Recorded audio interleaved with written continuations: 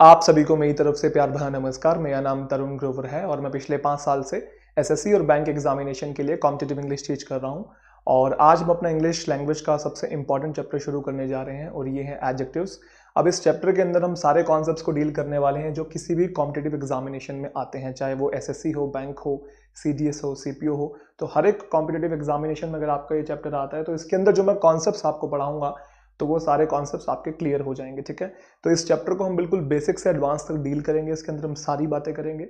लेकिन पहले मैं आपको कुछ फंडामेंटल्स ही पढ़ाऊँगा, क्योंकि मैंने आपको पहले भी कहा है, जब मैंने आपको दूसरे चैप्टर्स पढ़ाए थे, तब भी मैंने आपको कहा था कि आप कितने मर्ज़ी कॉन्सेप्ट पढ़ लीजिए, कितने मर्ज़ी रूल्स सीख लीजिए, कितना मर्ज़ी उसे इम्प्लीमेंट कर लीजिए, लेकिन जब तक किसी चीज़ के बेसिक्स नहीं पता होंगे या जब तक किसी चीज़ के फंडामेंटल्स नहीं पता होंगे तो उस चैप्टर को पढ़ना बेकार है। वो बिल्कुल भी आपके लिए बेनिफिशियल नहीं होगा।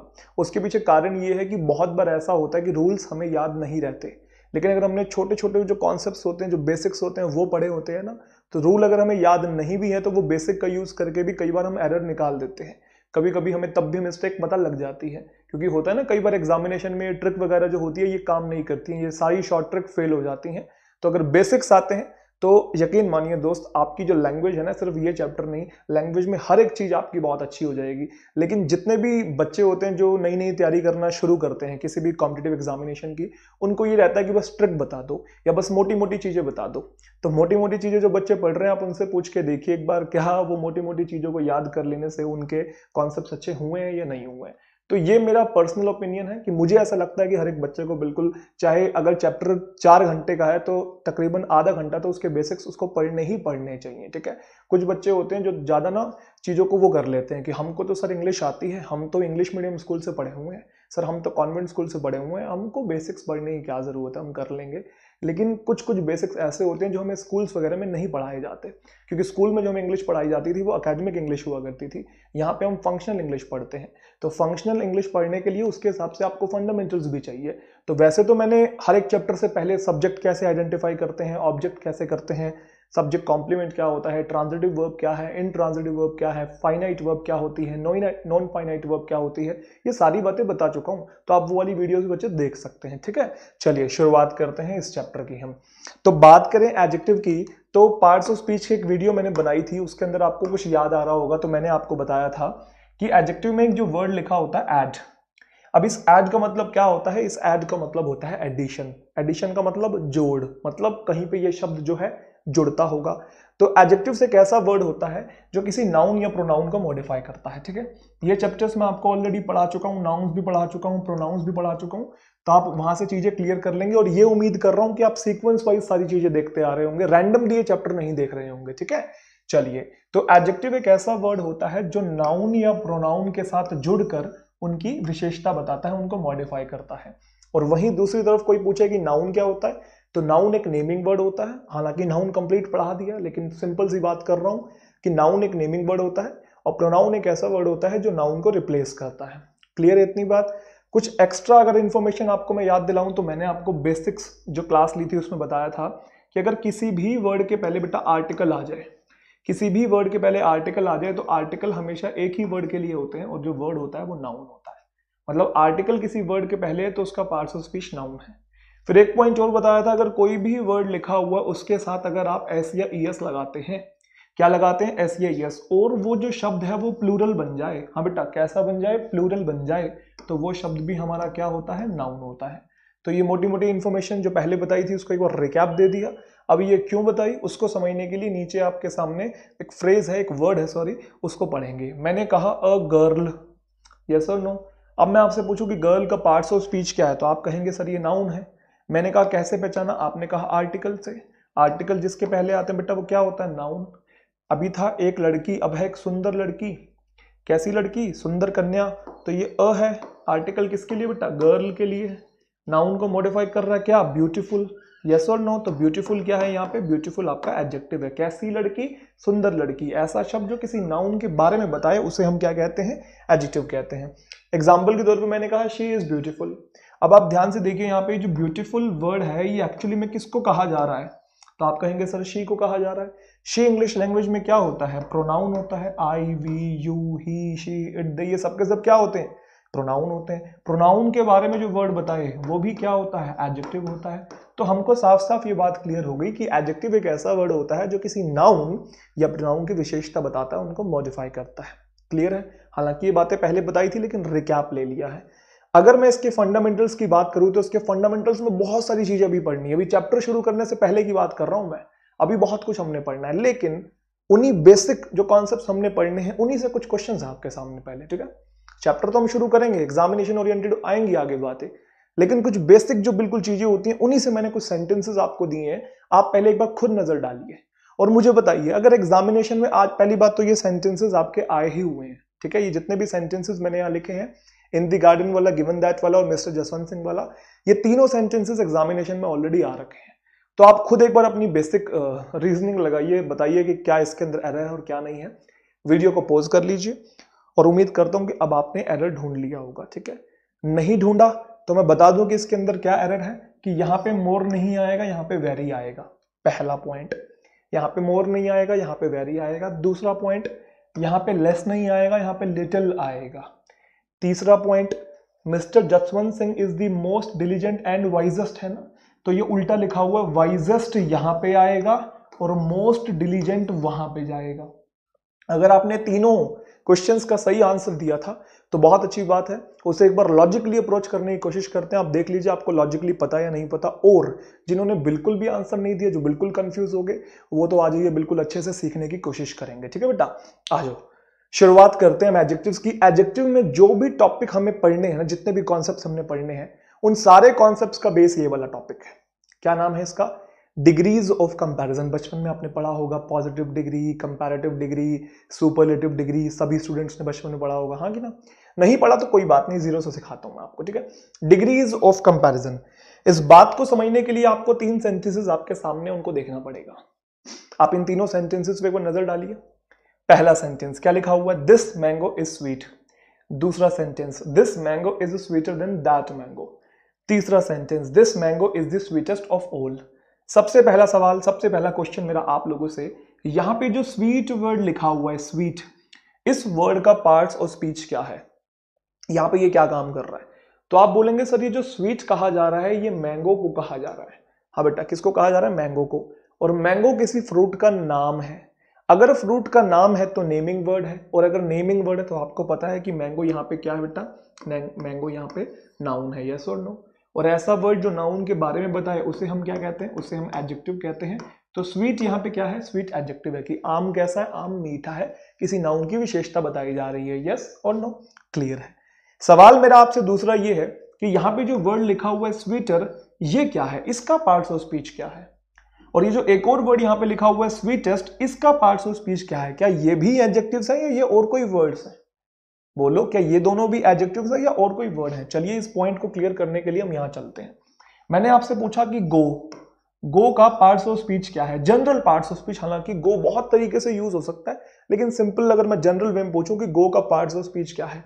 तो आप बोलोगे गो का मतलब जाना जाना मतलब एक्शन और एक्शन का मतलब क्या होता है? वर्ब हाँ की ना सबको पता है। अब हमको पता है ये वर्ब की फ़र्स्ट फॉर्म है। लेकिन मैं आपसे पूछूँ कि इसकी सेकंड फॉर्म क्या है तो आप कहेंगे सर वेंट और अगर मैं पूछूँ कि थर्ड फॉर्म क्या है तो आप क्या कहेंगे गोन यस और नो गो वेंट गोन अब मुझे बताएँगे, अगर ये वर्ब थी तो क्या ये नाउन बन गई क्या? और ये एडवर्ब बन गई क्या? नहीं ना। ये भी वर्ब है, ये भी वर्ब है, और ये भी वर्ब है। बस ये वर्ब की फ़र्स्ट फॉर्म थी, ये सेकंड फॉर्म है, और ये थर्ड फॉर्म है। कहने का मतलब अगर वर्ब की फ़र्स्ट फॉर्म और नेचुरल फॉर्म वर्ब है तो उसके जुड़े जितने भी पार्ट्स होते हैं वो भी तो सबके सब क्या होंगी? वर्ब्स होंगी। यस और नो अगर ये आपके सामने एडजेक्टिव आपको दिखाई दे रहा है ये नेचुरल फॉर्म में है ये एडजेक्टिव है तो इसके जितने भी पार्ट्स होंगे वो भी सबके सब क्या होंगे? एडजेक्टिव तो होंगे। लेकिन डिफरेंस वर्ब और एडजेक्टिव में ये होता है कि वर्ब की फॉर्म्स होती हैं। V1, V2, V3, V4, V5 लेकिन एडजेक्टिव्स में फॉर्म नहीं होती। एडजेक्टिव में अलग अलग डिग्रीज होती हैं। क्या होती है? डिग्रीज ये जो सिंपल तरीके से लिखी हुई है नेचुरल वे में ये पॉजिटिव डिग्री का एडजेक्टिव होता है। ये कंपैरेटिव डिग्री का है, ये सुपरलेटिव डिग्री का है। इसे हम आगे चल के पढ़ेंगे अभी ये क्या है। लेकिन मैं आपको बताना चाह रहा हूँ कि ये भी आपका एडजेक्टिव है, ये भी आपका एडजेक्टिव है और ये तीनों के तीनों एडजेक्टिव है। लेकिन ये तीनों अलग अलग फॉर्म्स नहीं बोलेंगे। क्या बोलेंगे? ये तीनों अलग अलग डिग्री हैं। लेकिन वर्ब्स में क्या होती है? वर्ब्स में अलग अलग फॉर्म्स होती है। यहाँ तक बात समझ में आया? बिल्कुल समझ में आया। अब दूसरा पॉइंट समझेंगे कि क्या ये एडजेक्टिव आपको नेचुरल फॉर्म में दिखाई दे रहा है? आप कहेंगे डेफिनेटली दिखाई दे रहा है। तो एडजेक्टिव अपने नेचुरल फॉर्म में तभी होता है जब कोई भी तुलना नहीं करनी होती है। एडजेक्टिव अपने नेचुरल फॉर्म में सिंपल फॉर्म में, प्राकृतिक फॉर्म में तभी होता है जब कोई भी तुलना, कोई भी कंपैरिजन नहीं करना होता है। बस किसी चीज़ की सिंपल क्वालिटी बतानी होती है। जैसे यहाँ पे कोई कंपैरिजन नहीं हो रहा है। बस ये बताया जा रहा है कि आम जो है मीठा है। लेकिन ध्यान से देखो अगले जो फॉर्म है आपके एडजेक्टिव इन्होंने अपनी पूरी फॉर्म चेंज कर रखी है मतलब रूप पूरा बदल रखा है। और एडजेक्टिव अपनी डिग्री या रूप तभी बदलता है जब कोई ना कोई तुलना होती है, कोई ना कोई कंपैरिजन होता है। जैसे एग्ज़ाम्पल के तौर पे, ये वाला आम इस वाले आम से मीठा है, और ये वाला आम सबसे मीठा है। समझ में आ रहा है? तो ये भी एडजेक्टिव लेकिन अब देखो फॉर्म बदली हुई है। तो पॉइंट क्या है?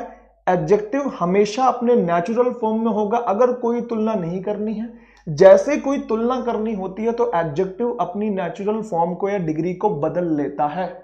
और इन्हीं बदली हुई डिग्रीज को हम बोलते हैं डिग्रीज ऑफ़ कंपैरिजन और ये अलग अलग टाइप की होती हैं।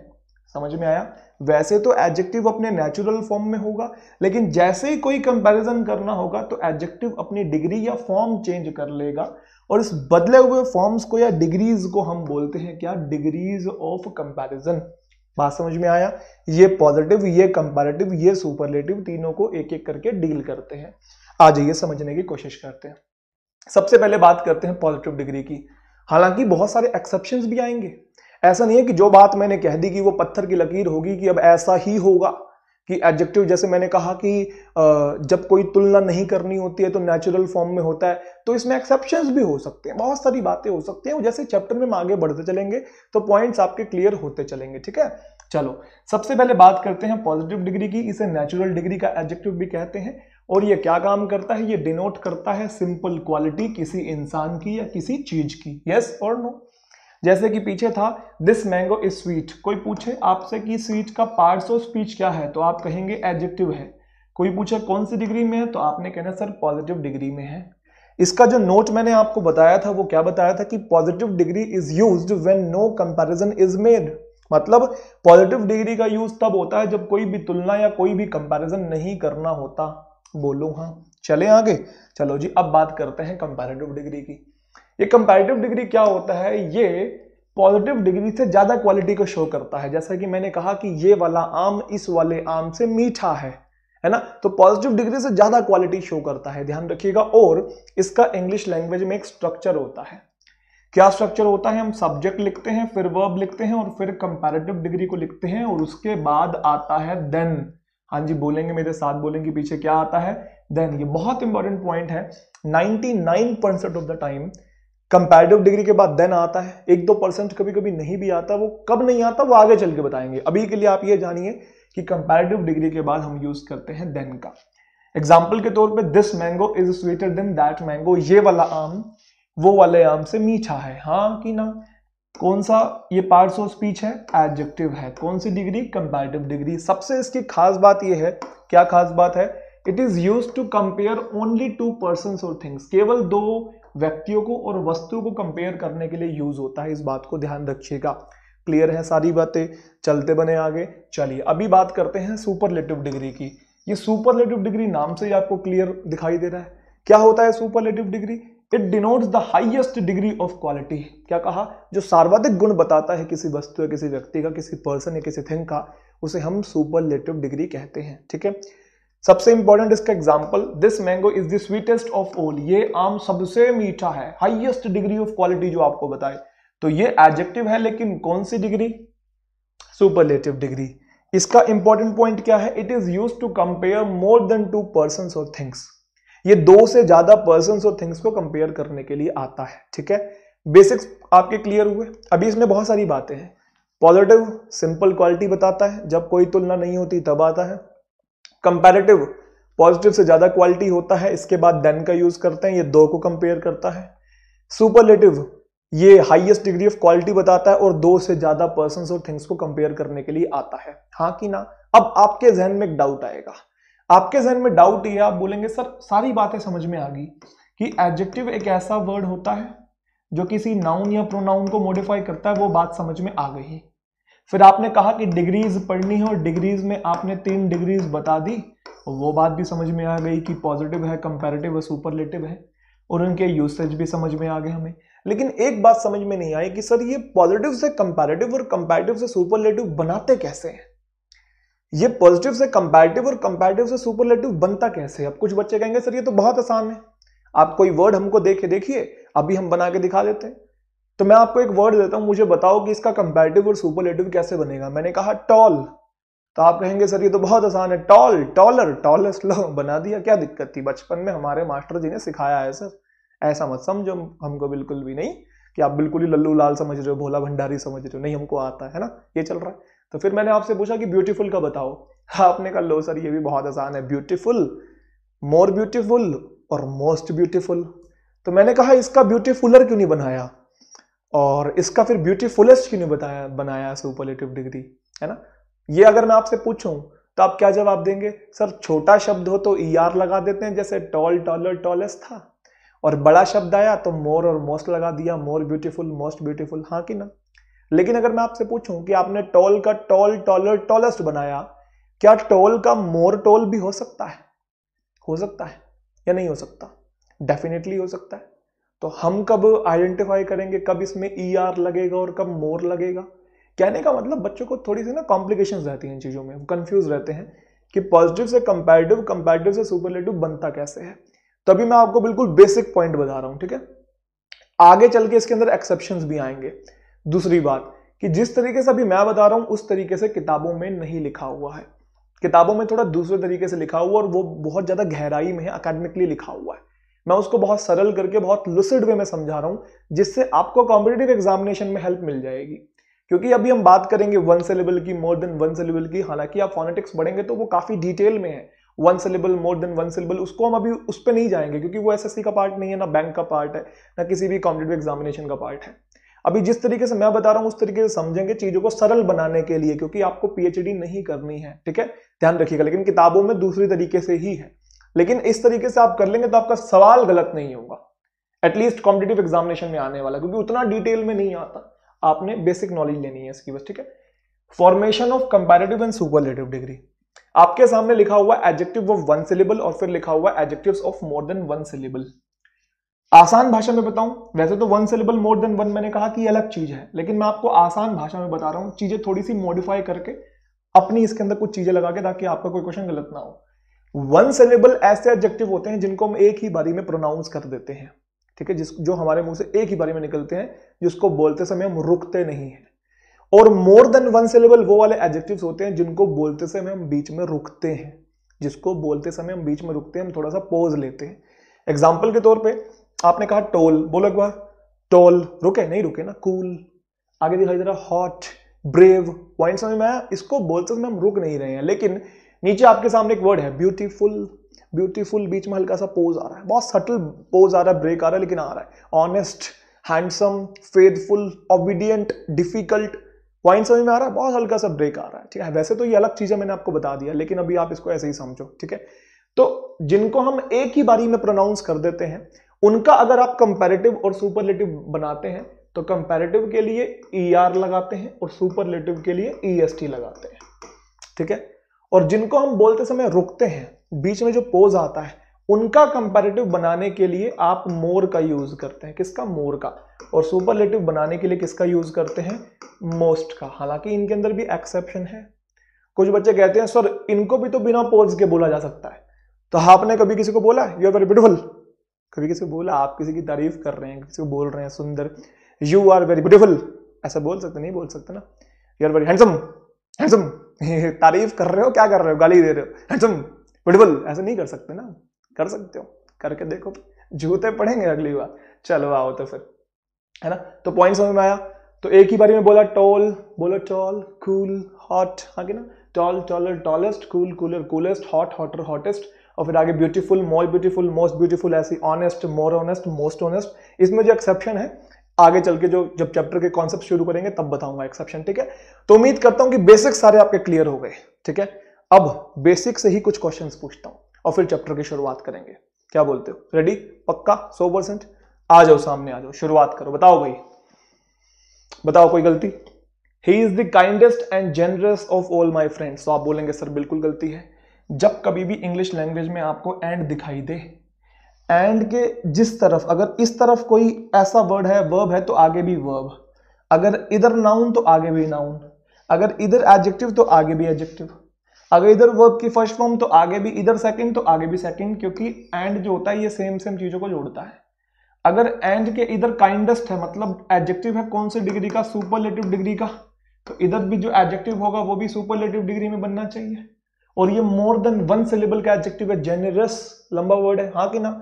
तो इसको फिर आप सुपरलेटिव में बनाना चाहिए। क्या बनेगा? मोस्ट जेनरस होना चाहिए। He is the kindest and most generous of all my friend सारे दोस्तों में से सबसे ज़्यादा दयालु और जेनरस है। ठीक है? उदार है। क्लियर है? पक्का ना? एंड के साथ दोनों तरफ़ सेम डिग्री होनी चाहिए। ये सुपरलेटिव थी तो ये भी सुपरलेटिव करनी पड़ेगी। इसका सुपरलेटिव ईएसटी लगता है क्योंकि काइंड वन सिलेबल और इसका आपका क्या बना रहे हैं? मोस्ट बना रहे हैं। ठीक है? चलो, आगे चलते हैं। Of the two candidates I think he is the best suited हाँ जी, बताएँगे। Of the two candidates I think he अब देखो, कितने कैंडिडेट्स हैं? कितने आदमी थे? दो थे सरकार, दो थे तो फिर ये सुपरलेटिव कैसे आया? ये तो दो से ज़्यादा के लिए आता है ना? हाँ कि ना? तो इसका आप कैसे बनाएँगे बेटा? बेटर करेंगे। ठीक है? गुड बेटर बेस्ट हाँ कि ना? Of the two candidates I think he is the better suited अब आप कुछ बच्चे सोच रहे होंगे जिन्होंने शायद पहले चैप्टर पढ़ा हो कि सर बैटर के पहले दा कैसे आया? तो ये आगे की बातें हैं सारी। वो मुझे पता है, मैं आपको बताता चलूँगा आगे भी। आप बेसिक बातें सीखते चलिए, ठीक है? चलो। He doesn't know that Mount Everest is the most highest mountain peak उसको नहीं पता था कि जो माउंट एवरेस्ट है, वो most highest mountain peak mistake क्या है? अच्छा ये बताओ हाइएस्ट क्या अपने आप में सुपरलेटिव डिग्री है? हाई इसका कंपैरेटिव क्या बनेगा? हाई हाइयर हाइएस्ट यही तो बनेगा। One syllable high higher highest तो फिर आप उसके साथ मोस्ट कैसे लगा रहे हैं? आप ई e भी लगा रहे हैं मोस्ट भी लगा रहे हैं। तो जब आपने एक वर्ड को सुपरलेटिव डिग्री बना दिया तो डबल सुपरलेटिव कैसे कर सकते हैं? तो मोस्ट हटा दो ना यहाँ से, है ना? जैसे कुछ लोग बोलते हैं मोस्ट बेस्ट ऐसा कैसे बोल सकते हैं? नहीं हो सकता ना। बेस्ट तो बेस्ट है ना। वो पहले ही सुपरलेटिव डिग्री में तो मोस्ट क्यों लगा रहे हो? आ जाओ, चलो आगे चलते हैं। In the garden were the more beautiful flowers and silver bells अब इस इस क्वेश्चन के स्ट्रक्चर को देख के ही बच्चे कंफ्यूज हो गए। इस क्वेश्चन के स्ट्रक्चर को देख के बच्चे कंफ्यूज हो गए, है ना? इस स्ट्रक्चर में क्या है? एक्चुअल में वर्ब पहले आई हुई है और आगे सब्जेक्ट आया हुआ है। हाँ कि ना? और आप उसको देख के पजल हो गए। लेकिन बात पजल होने की नहीं थी। बात थी बस एरर बताना था कि गार्डन में बहुत ज़्यादा सुंदर फूल हैं और सिल्वर बेल्स हैं। मुझे सबसे पहले ये बताओ, क्या कंपैरिजन भी हो रहा है या नहीं हो रहा? हाँ भाई कंपैरिजन तो नहीं हो रहा। बस ये बोला कि गार्डन में थे क्या? सुंदर फूल और सिल्वर बेल्स कंपैरिजन तो नहीं, जब कंपैरिजन ही नहीं हो रहा तो एडजेक्टिव बदली हुई फॉर्म कैसे लेगा? नेचुरल फॉर्म लेगा ना? जब भी कंपैरिजन होता था एडजेक्टिव तभी फॉर्म चेंज करता था कंपैरेटिव या सुपरलेटिव लेकिन जब कोई कंपैरिजन नहीं है तो नेचुरल फॉर्म में जाना चाहिए। तो ना ही मोर आ सकता, ना ही मोस्ट आ सकता। ठीक है? तो आप कुछ भी नहीं लगाएँगे, बस इतना भी लिखेंगे, चल जाएगा इन दी गार्डन वर दी मोर क्योंकि मोर तो दो के लिए आता है ना कंपेरेटिव डिग्री है। हाँ कि ना? कंपेरेटिव और मोस्ट आपकी सुपरलेटिव डिग्री है। तो दोनों ही नहीं आ सकता ना कंपैरिजन तो यहाँ पे हो नहीं रहा। तो आप मोर हटा देंगे तब भी चल जाएगा। In the garden were the beautiful flowers and silver bells लेकिन फिर भी इसकी इंटेंसिटी बतानी है तो आप मोर की जगह वेरी लिख सकते हैं। अब ये वेरी का क्या फंडा होता है, ये आगे चल के पता लगेगा एडवर्ब चैप्टर में। लेकिन फ़िलहाल ये है कि एरर आपने बताया कि बी पार्ट में था, ये गलती है सर। पॉइंट समझ में आया? बोलो हाँ। चलो जी, Rohan is good and stronger than Mohan. Comparison हो रहा है भाई यहाँ तो। देन लिखा हुआ है। और आगे एंड लिखा हुआ है। अब बताओ, दोनों तरफ़ पॉजिटिव डिग्री करूँ या दोनों तरफ़ कंपेरेटिव डिग्री करूँ? गुड और स्ट्रॉन्ग करूँ या बेटर और स्ट्रॉन्गर करूँ? आगे देखो देन लिखा है। देन लिखा है तो मतलब कंपैरिजन तो हो रहा है। कंपैरिजन हो रहा है तो बेटा इससे क्या करोगे आप? गुड बेटर और फिर एंड सेम चीज़ को जोड़ रहा है तो आगे स्ट्रॉन्गर बोलो। हाँ चले आगे। चलिए जी, बहुत ही प्यारे बच्चे हैं। आगे देखते हैं। अगला क्वेश्चन आपके सामने। क्या हो गया? हाँ जी the most sweetest songs are those लो, पहले ही पता लग गया। चलो, कोई नहीं, फिर भी पूरा पढ़ो। देखो कभी कभी क्या होता है एग्जामिनेशन में ना, जब हम कोई सेंटेंस पढ़ते हैं तो हमें ना एरर दिख जाता है या फील हो जाती है कि यहाँ कुछ गलती है। लेकिन आपको भले फील हो जाए या एरर दिख जाए, बावजूद उसके आपने सेंटेंस को पूरा पढ़ना है, ठीक है? आप सेंटेंस पूरा नहीं पढ़ेंगे तो दिक्कत हो जाएगी, क्योंकि कभी कभी क्या होता है सेंटेंस के अंदर दो दो एरर होते हैं, एक वीक एरर होता है, जो एरर कंसिडर भी नहीं होता है। और आगे चल के एक स्ट्रॉन्ग एरर होता है। स्ट्रॉन्ग एरर का मतलब कि वर्ब वाले एरर टेंसेस वाले एरर वॉइस वाले, ये बहुत स्ट्रॉन्ग एरर्स होते हैं। तो बहुत बार हमें लग रही होती है कि यहाँ गलती है, लेकिन आगे चल के बहुत स्ट्रॉन्ग एरर होती है, हमें दिखती नहीं है। तो सेंटेंस को फिर भी पूरा पढ़ेंगे। The most sweetest songs are those that attenuate our restlessness when they are listened attenuate का मतलब क्या होता है? एटुनेट का मतलब किसी दर्द को कम करना, ठीक है? जैसे पीता हूँ गम बुलाने के लिए। क्यों पीता हूँ? गम भुलाने के लिए ना, क्योंकि दर्द आपको है जो आप मतलब सीने में जो आग लगी हुई है है ना? तो उसको आप कम कर रहे हैं, एटोनेट कर रहे हैं, मिटिगेट कर रहे हैं, ठीक है? पेन किलर को भी हम पेन पेन किलर जो लेते हैं वो भी एटोनेट करता है हमारे दर्द को, ठीक है? लेकिन गलती क्या है? गलती ये है कि जो स्वीटेस्ट लिखा हुआ है, ये सुपरलेटिव डिग्री है अपने आप में ही। क्योंकि ईएसटी है तो फिर बेटा मोस्ट कैसे आएगा? सिंपल बात है ना डबल सुपरलेटिव नहीं बना सकते, ना ही डबल कंपेरेटिव बना सकते मोर बेटर भी नहीं बोल सकते। क्योंकि बेटर अपने आप में कंपेरेटिव है तो मोर बेटर क्या होता है? बोल दो हाँ। चले आगे। चलो। The sweetest songs are those sweetest songs वो होते हैं जो कम करते हैं हमारी रेस्टलेसनेस को, जब उनको सुना जाता है। ठीक है? चलो। There are very fewer hotels providing facilities for guest who want to bring their pets and along with them there are very fewer hotels एक बात बताओ। फ्यूअर फ्यू फ्यूअर फ्यूएस्ट ये तो कंपैरिजन कर रहा है। जबकि कंपैरिजन तो तब होता है ये तो कंपैरिजन ये जो फ्यूअर वर्ड है, ये कंपैरिजन के लिए यूज़ होता है। Few fewer fewest comparative degree है। लेकिन यहाँ तो कोई कंपैरिजन हो ही नहीं रहा कि बस बहुत कम होटल हैं जो प्रोवाइड करवाते हैं ऐसी फैसिलिटी गेस्ट के लिए जो अपने कुत्तों को या पेट्स को, कुत्ते तो नहीं बोला पेट्स बोला है कैट भी हो सकती है, साथ लाना चाहते हैं। बहुत कम ऐसे होटल्स हैं। तो तुलना तो नहीं हुई है, तुलना तो नहीं हुई है तो फिर आपको पॉजिटिव डिग्री यूज़ करनी पड़ेगी और वो होती है फ्यू फ्यूअर फ्यूअस तो फ्यू आपकी पॉजिटिव डिग्री यस और नो चल रहे आगे। चलो जी, आगे। The car flew off the road and fell into valley ठीक है फ्लू ऑफ़ द रोड मतलब रोड से उड़ती हुई, ऐसे साइड हो गई और वैली में गिर गई because Amit was driving faster फिर से वही वाली बात कंपैरिजन नहीं हो रहा। बस अमित तेज दौड़ा रहा था गाड़ी को। तो कंपैरिजन नहीं हो रहा तो बेटा पॉजिटिव डिग्री यूज़ करना पड़ेगा। क्या आएगा फास्ट ठीक है, चले। चलो जी, अगला। Given that they was so less अब देखो, बहुत इंपॉर्टेंट ध्यान से देखना। Given that they was so less time I think that the students have done a good job बहुत कम टाइम था वहाँ पे। और इसलिए मुझे लगता है कि स्टूडेंट्स ने बहुत बढ़िया काम किया कम टाइम होने के बावजूद भी। तो आप ये देखिए लेस मुझे आप बताइए, ये लिटिल इसकी होती है बेटा पॉजिटिव डिग्री बताता चल रहा हूँ जो आपको नहीं पता है, ठीक है? जो थोड़े से कंफ्यूज करते हैं लिटिल लेस होती है कंपैरेटिव और लेसर भी होती है कंपैरेटिव और लीस्ट इसकी होती है superlative degree little less least तो क्या यहाँ कोई तुलना है या नहीं है? बस बहुत कम टाइम था और मुझे लगता है कि स्टूडेंट्स ने बहुत बढ़िया काम किया है, बोल दो हाँ। कोई तुलना नहीं है, कोई तुलना नहीं है। तो बेटा, आप पॉजिटिव डिग्री लगाएँगे ना? यस और नो यस और नो चले आगे? चलो जी, आगे चलते हैं और देखते हैं। These people are good and wiser in terms of their social intercourse हाँ भाई एंड लिखा हुआ है। एंड के इधर जैसी, वैसे भी, उधर भी वैसी। हाँ कि ना? एक तरफ़ है घर वाली, एक तरफ़ बाहर वाली। चलो आओ जोक से मुद्दे पे आते हैं। तो बताओ मुझे दोनों तरफ़ पॉजिटिव करूँ या दोनों तरफ़ क्या करूँ? कंपैरेटिव करूँ? गुड और वाइज करूँ? गुड एंड वाइज करूँ या बेटर एंड वाइजर करूँ? बताओ, आप बताओ, चलो। बताओ। कोई तुलना नहीं है ना यहाँ पे? These people are good and wise in terms of their social intercourse social intercourse का मतलब होता है कि समाज में जिस तरीके से वो वार्तालाप करते हैं, उनकी कम्युनिकेशन है या उनका बिहेवियर है दूसरों के साथ तो उस सिनेरियो में वो बहुत अच्छे हैं और समझदार हैं। तो कोई तुलना नहीं है भैया, तुलना नहीं है तो फिर आप दोनों तरफ़ पॉजिटिव करो। गुड एंड वाइज यस और नो चल रहे आगे, समझ में आ रही है, बातें नहीं आ रही हैं? अभी बेसिक ही चल रहा है। अभी तो मैंने एडवांस बातें कुछ बताई नहीं है, ठीक है? चलो, आ गया वो क्वेश्चन मिस्टर जसवंत सिंह वाला। बताओ भाई, mister Jaswant Singh is the most diligent and wisest member of parliament कुछ गलती? आप बोलोगे, सर, गलती तो कुछ नहीं है। पार्लियामेंट में जितने भी मेंबर्स हैं उन सब में से अच्छा डिलीजेंट क्या होता है वैसे? ये डिलीजेंट क्या डिलीजेंट का मतलब मेहनती लेबोरियस जिसे हम कहते हैं हार्ड वर्किंग ठीक है? और वाइज तो समझदार, बुद्धिमान आपको पता है, ठीक है? तो पार्लियामेंट में वैसे हमारे टीचर ने इसको ऐसे याद करवाया था डिलीजेंट को। बोला उन्होंने कि दिल्ली के जो जेंट्स होते हैं ना, दिल्ली के जेंट्स वो बहुत मेहनती होते हैं।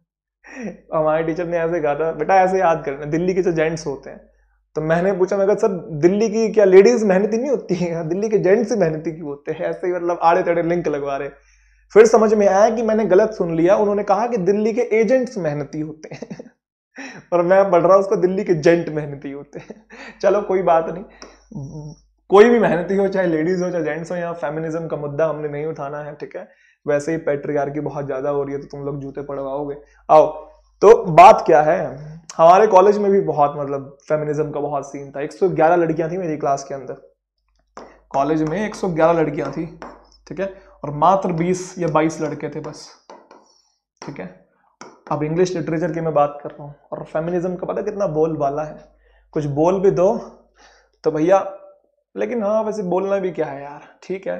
बराबर का हकदार मिलना चाहिए, हक मिलना चाहिए। हाँ बस सूडो फेमिनिज्म नहीं होना चाहिए फेक फेमिनिज्म नहीं होना चाहिए। हाँ कि ना? चलो, आ जाओ जी। एनकरेज तो करना ही चाहिए यार। आ जाओ। तो mister Jaswant Singh is the most diligent and wisest अब पॉइंट क्या है? पॉइंट ये है, क्या यहाँ पे एंड अरे दादा! क्या हुआ दादा? पेन आया नहीं आया? आया पेन आया। चलो। तो मैंने कहा, क्या है यहाँ पे एंड लिखा हुआ है, नहीं लिखा हुआ? आपने कहा, जी सर। क्या एंड के दोनों तरफ़ सेम सेम डिग्री आती है, नहीं आती है? आपने कहा, जी सर। मैंने कहा, क्या ये मोस्ट डिलीजेंट सुपरलेटिव डिग्री है? आपने कहा, जी सर. और मैंने कहा वाइजेस्ट आपने कहा, ये भी सुपरलेटिव डिग्री है। ये वन सिलेबल था तो इसलिए वाइज वाइजर वाइजेस्ट होता है। और ये मोर देन वन था डिलीजेंट तो मोर डिलीजेंट और मोस्ट डिलीजेंट होता है उसका सुपरलेटिव तो सही लिखा हुआ है। लेकिन आपको मैं बात बता दूँ कि ये वन सिलेबल का सुपरलेटिव डिग्री है, ये मोर देन वन सिलेबल का सुपरलेटिव डिग्री है। अब ऐसा करने से दिक्कत क्या होती है कि जब इस तरीके से लिखा जाता है तो ये जो मोस्ट होता है ना बेटा मोस्ट ये इसके लिए भी आ जाता है और ये मोस्ट इसके लिए भी आ जाता है। जबकि अगर ये मोस्ट इसके लिए आता है तो बहुत अच्छी बात है, क्योंकि इसका सुपरलेटिव मोस्ट डिलीजेंट ही बनता है। लेकिन अगर ये मोस्ट इसके लिए भी आ गया तो वो गलत हो जाएगा, क्योंकि वो अपने आप में ही सुपरलेटिव डिग्री है वाइजेस्ट उसमें ई e लगा हुआ और ये मोस्ट आ जाने से ये डबल सुपरलेटिव हो जाएगा। तो इसकी प्रॉब्लम को कैसे सॉल्व कर सकते हैं? इसकी प्रॉब्लम को सॉल्व करने के लिए आप एक काम कीजिए वाइजेस्ट को इधर ले जाइए और मोस्ट डिलीजेंट को उधर ले जाइए। उससे क्या होगा कि जो मोस्ट वर्ड है, अब ये इसी के लिए आया हुआ इसके लिए नहीं आया हुआ अदरवाइज़ पहले वाले पार्ट में देखा, अगर हम इसको ऐसे लिखते हैं तो ये तरीके का कॉमन निकला हुआ दिखाई देता है कि इसके लिए भी और इसके लिए भी। जबकि इसके लिए तो सही है, लेकिन उसके लिए नहीं आ सकता। बोलो हाँ समझ में आया? तो इसलिए आपको इसको इधर और उसको उधर। और अगर मैं आसान भाषा में समझाऊं तो ध्यान रखिएगा, जब कभी भी एंड के साथ दो दो एडजेक्टिव जुड़े हुए हों, चाहे वो पॉजिटिव डिग्री हो, चाहे वो कंपैरेटिव हो, चाहे वो सुपरलेटिव हो, चाहे बेटा पॉजिटिव हो कंपैरेटिव हो और सुपरलेटिव हो, अगर एंड के दोनों तरफ़ एडजेक्टिव हैं, ठीक है तो इधर पहले आता है वन सिलेबल का और बाद में आता है मोर देन वन सिलेबल का। पहले वन सिलेबल का बाद में मोर देन वन सिलेबल का जबकि यहाँ उल्टा था। समझ में आया?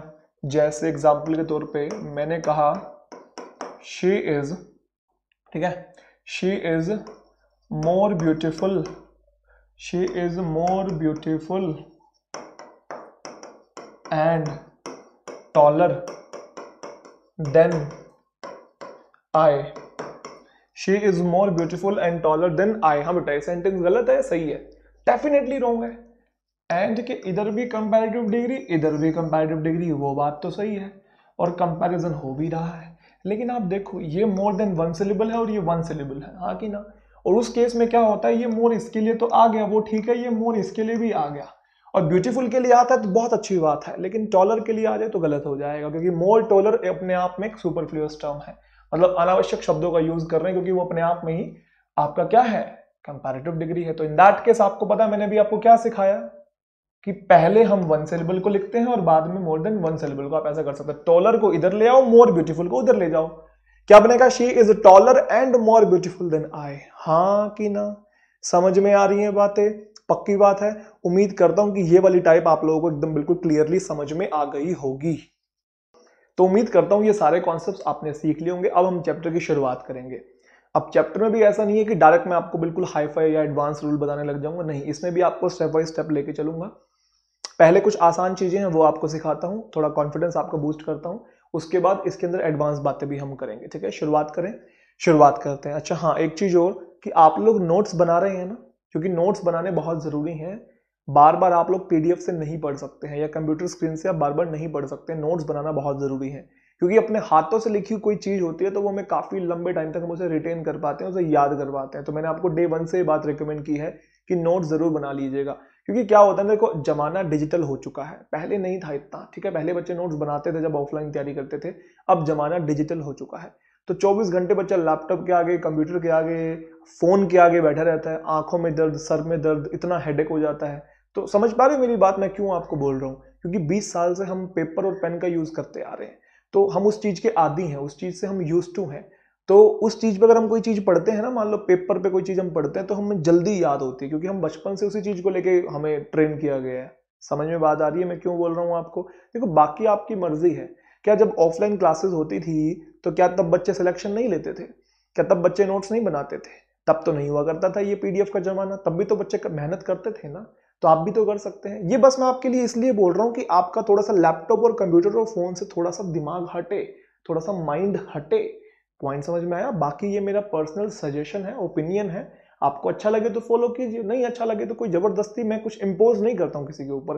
क्योंकि सबके हालात, सबकी सरकमस्टांसिस सबकी सिचुएशन अलग होती है। कोई भी एक बात किसी के भी द्वारा बोली जाती है, ज़रूरी नहीं है कि वो जो पर्टिकुलर बात है, हर बच्चे के लिए अप्लीकेबल हो।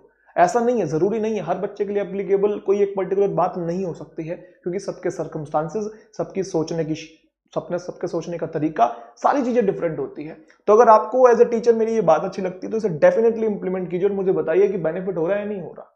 हाँ कि ना? चलिए, क्योंकि आपको नौकरी लेने के साथ साथ कॉन्सेप्ट पढ़ने के साथ साथ अपनी वेलबींग को भी मेंटेन करना है। ऐसा नहीं है ना कि आप अपनी तबीयत खराब कर रहे हैं डिप्रेस हो रहे हैं एंशियस हो रहे हैं, चौबीस घंटे कंप्यूटर के आगे ऐसे मंडे हुए नहीं ना। थोड़ा सा यार अपने आप को सेहतमंद भी रखना है, ठीक है? तो इसलिए आपके फ़ायदे के लिए बोल रहा हूँ मैं। चलो, शुरुआत करते हैं। शुरुआत करने से पहले कुछ सेंटेंस ठीक है? बहुत प्यारा सेंटेंस है। क्या कहा? Coffee is more preferable than tea is there any grammatical mistake in this particular sentence is there any then feel free to comment down comment तो आप क्या करेंगे? लाइव तो चल नहीं रहा है। तो बताइए, चलिए, बताइए। Coffee is more preferable than tea चलो, अगर नहीं समझ में आ रहा है तो इसे डील करने की कोशिश करते हैं। इसका कॉन्सेप्ट सीखते हैं। जो कॉन्सेप्ट है, उसका नाम है लेटिन एडजेक्टिव्स हाँ बेटा, कौन सा? लेटिन एडजेक्टिव्स एक्चुअल में इंग्लिश लैंग्वेज में बहुत सारे ऐसे वर्ड्स हैं, जो लेटिन और ग्रीक लैंग्वेज से लिए गए, संस्कृत से भी लिए गए हैं, ठीक है? तो उसमें से लेटिन लैंग्वेज से जो कुछ वर्ड्स लिए गए हैं, जैसे कि जूनियर सीनियर इंफीरियर और भी बहुत सारे लिए हैं, सिर्फ़ ये नहीं है, ये एडजेक्टिव की कैटेगरी में आते हैं लेटिन वाले तो इसलिए बढ़ रहे हैं इसे junior senior inferior superior prior prefer preferable junior senior का मतलब तो आप जानते हैं। इंफीरियर और सुपीरियर घटिया क्वालिटी बढ़िया क्वालिटी और ये जूनियर और सीनियर का भी सेंस देता है। इसका मतलब पहले और ये दोनों वर्ड प्राथमिकता देने के लिए यूज़ होते हैं। चलो जी, वो बात सर समझ में आ गई। इनकी खास बात बताओ सर। खास बात जानेंगे इनकी खास बात क्या है। एक्चुअल में ये जितने भी वर्ड्स आपके सामने लिखे हुए हैं, ये अपने आप ऑटोमेटिकली पहले से ही कंपैरेटिव डिग्री में चेंज होते हैं। कौन से डिग्री में चेंज होते हैं? कंपैरेटिव डिग्री में। सर, हम कैसे मान लें? हम क्यों माने कंपैरेटिव डिग्री में है या नहीं है? थोड़ा लॉजिक दो उसके पीछे। तो लॉजिक समझाने की कोशिश करता हूँ। आपने किसी इंसान को जूनियर कहा? क्या कहा जूनियर तो ऑटोमेटिकली सामने वाला इंसान उससे सीनियर हो गया। तो जूनियर किसी को आप कह रहे हैं तो सीनियर हो गया। अगर आप किसी को सीनियर कह रहे हैं तो ऑटोमेटिकली कोई जूनियर हो गया। तो अपने आप ही कंपैरिजन का सेंस आ रहा है। तो अगर अपने आप ही कंपैरिजन का सेंस आ रहा है तो ये सब के सब कौन सी डिग्री में होते हैं? कंपैरेटिव डिग्री में। ये पहला पॉइंट दूसरा पॉइंट मैंने आपको बताया था कि कंपैरेटिव डिग्री के बाद हमेशा क्या आता है? हाँ जी। हमेशा क्या आता है, देना आता है। लेकिन वहाँ पे मैंने आपको कही थी कि आगे चल के हम एक्सेप्शन भी पढ़ेंगे कभी कभी नहीं भी आता। बोलो हाँ नहीं आता ना? तो यहाँ पे कंपैरेटिव डिग्री के बाद बेटा देन नहीं आता तो आता है। इस बात को ध्यान रखिएगा ये दूसरा पॉइंट अब आते हैं तीसरे पॉइंट पे। तीसरा पॉइंट समझने के लिए सबसे पहले मैं आपसे एक सवाल पूछना चाहता हूँ। मुझे बताइए, यहाँ पे आपके सामने एक वर्ड है स्वीटर है ना? स्वीट स्वीटर स्वीटेस्ट तो उसमें से मैंने एक डिग्री लिखी, एक डिग्री लिखी, स्वीटर। ये कौन सी डिग्री है? तो आप कहेंगे, सर, ये कंपेरेटिव डिग्री है। ई e से पता लग रहा है। हाँ कि ना? अगर कोई वर्ड अपने आप में ही कंपेरेटिव है तो क्या मैं कभी ऐसा कर सकता हूँ? मोर स्वीटर मुझे हाँ या ना का जवाब दे दीजिए। आप कहेंगे नहीं, क्योंकि जब एक बार कंपेरेटिव बना दिया तो डबल कंपेरेटिव कैसे बना सकते हैं? ये बात हमने बेसिक में सीख ली है। तो कहने का मतलब कंपेरेटिव डिग्री के पहले मोर नहीं आता। तो मुझे एक बात बताओ, ये सारे वर्ड्स भी तो कंपेरेटिव डिग्री में है? अगर इसके पहले नॉर्मल कंपैरेटिव के पहले मोर नहीं आ रहा तो फिर इनके पहले भी क्या नहीं आएगा? मोर नहीं आएगा, ध्यान रखिएगा। इनका डबल कंपैरेटिव नहीं बन सकता, इनमें से किसी भी वर्ड के पहले मोर नहीं आएगा।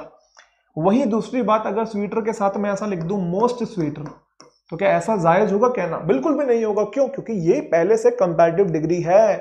वो चेंज है ऑलरेडी अगर वो चेंज है बेटा तो आप दोबारा कैसे बना रहे हो? सुपरलेटिव और कंपैरेटिव दोनों एक ही शब्द में बना रहे हैं। ऐसा कैसे पॉसिबल हो सकता है? हो सकता नहीं हो सकता ना। तो अगर कंपैरेटिव डिग्री के पहले मोस्ट भी नहीं आता तो बेटा ये सारे वर्ड्स भी कौन सी डिग्री में है?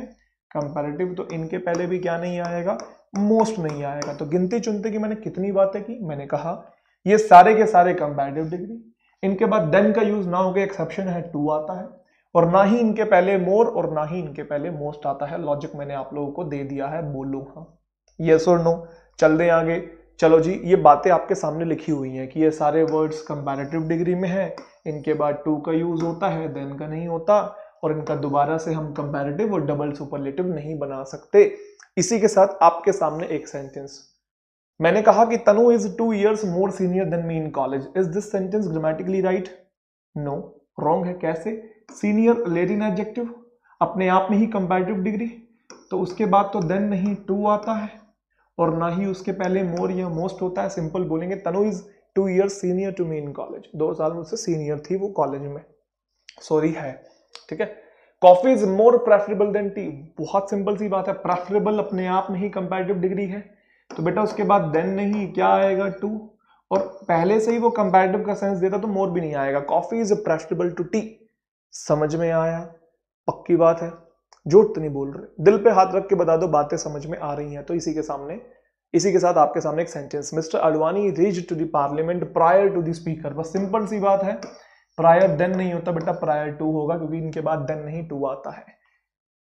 I am talking to the most senior employee in this organisation senior अपने आप में ही कंपेरेटिव डिग्री है, ना ही उसके पहले मोर आता है, ना ही मोस्ट आता है। तो I am talking to the senior employee in this organisation लेकिन यहाँ पे एक छोटा सा एक्सेप्शन थोड़ी छोटी सी बात बताना चाहूँगा। आजकल अखबारों में ये शब्द यूज़ होने लगा है कि मोस्ट सीनियर तो नहीं होता है, लेकिन सीनियर मोस्ट एक टर्म बन सकता है। क्या? सिर्फ़ सीनियर मोस्ट और किसी के साथ मत लगाइएगा इंफीरियर मोस्ट सुपीरियर मोस्ट ऐसा मत कर दीजिएगा। सिर्फ़ सीनियर के साथ मोस्ट जो है वो पीछे लग सकता है। ठीक है? मतलब उसके आगे वाली साइड सीनियर मोस्ट टर्म होती है तो मोस्ट सीनियर तो गलत होगा। मतलब गलती तो आपने पहचान ही लिया I am talking to the senior employee in this organisation या फिर सीनियर मोस्ट एम्प्लॉय जूनियर के साथ भी हो सकता है, ठीक है? लेकिन जूनियर के साथ हम यूज़ नहीं करते हैं। सीनियर के साथ ही ये टर्म यूज़ होती है। अलग से ये वर्ड है। इस कॉन्सेप्ट में स्क्वाड मत कीजिएगा कि सबके साथ आप मोस्ट लगा दो। ऐसा नहीं करना है, ठीक है? चले, चलो अगला क्वेश्चन ये हो गया क्या? Coffee is more preferable than tea ये हो गया मेरे ख्याल से, है ना? मोर नहीं आएगा, आगे देन नहीं आएगा टू आएगा। ये हमारा हो चुका है। ठीक है? हाँ जी। चलो, इस वाले में इतना ही जानना था। छोटा सा कॉन्सेप्ट था बहुत उम्मीद करता हूँ समझ में आया हो, ज़्यादा डिटेल में इसमें जाना नहीं है। है ही नहीं इतनी डिटेल में, जाना क्या है, ठीक है? और इसके आगे अगले कॉन्सेप्ट को डील करते हैं। कुछ क्वेश्चन है? हाँ जी क्वेश्चन है, क्यों नहीं है? बताओ फिर, पहले तो बताओ। हाँ जी happiness is the chiefest aim of mankind mistake हाँ बोलो, क्या नहीं आएगा? चीफेस्ट नहीं आएगा? क्या आएगा फिर? Chief? Chiefer? More chief? Most chief? बताओ फिर क्या आएगा? चलो जी, इस पॉइंट को सीखने के लिए हमको जो टर्म सीखनी है वो है बच्चे एब्सोल्यूट एडजेक्टिव्स क्या है? एप्सल्यूट एडजेक्टिव सर, ये पहले तो बताओ ये एब्सोल्यूट का मतलब क्या होता है?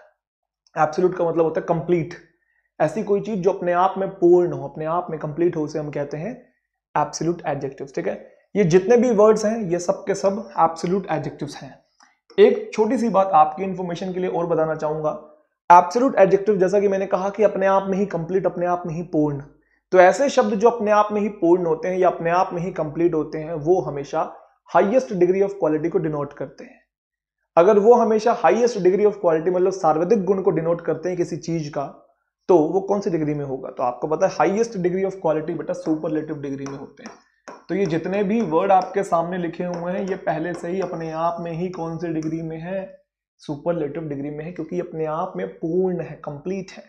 एब्सोल्यूट है eternal chief circular round triangular impossible ideal universal unique supreme extreme total whole right wrong perfect complete बाकी सबके मतलब तो पता होंगे इटर्नल का मतलब अगर किसी को नहीं पता तो मैं बता दूँ इटर्नल का मतलब नेवर एंडिंग जैसे you have eternal problems of money सबको ही होती है everybody has eternal problems of money हाँ कि ना?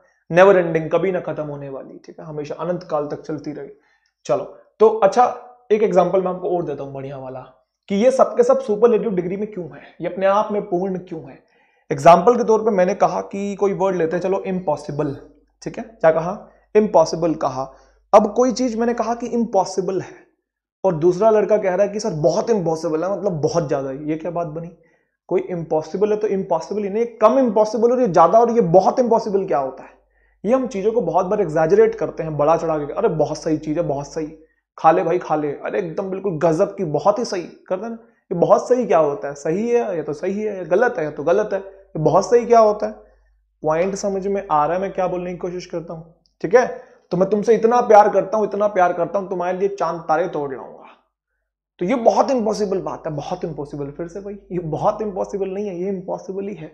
चाँद तारे नहीं टूटते भैया, ठीक है? चलो अच्छा एक चीज़ और, जैसे अब एग्ज़ाम्पल अगर मैं राउंड कर लू राउंड टर्म है। अब मैंने जब कह दिया कि कोई चीज़ गोल है फॉर एग्ज़ाम्पल चलो ये तो मैंने गोल बनाई नहीं, मैं बता रहा हूँ।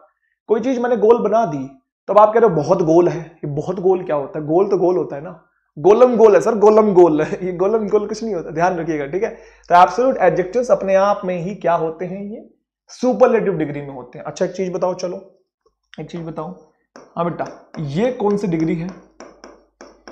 कौन सी डिग्री है? स्वीटेस्ट सुपरलेटिव डिग्री है। अगर ये स्वीट सुपरलेटिव है तो क्या मैं इसके पहले मोर लगा सकता हूँ? नो क्योंकि जब चेंज कर दिया तो आप फिर कंपैरेटिव वाला मोर कैसे लगा सकते हैं?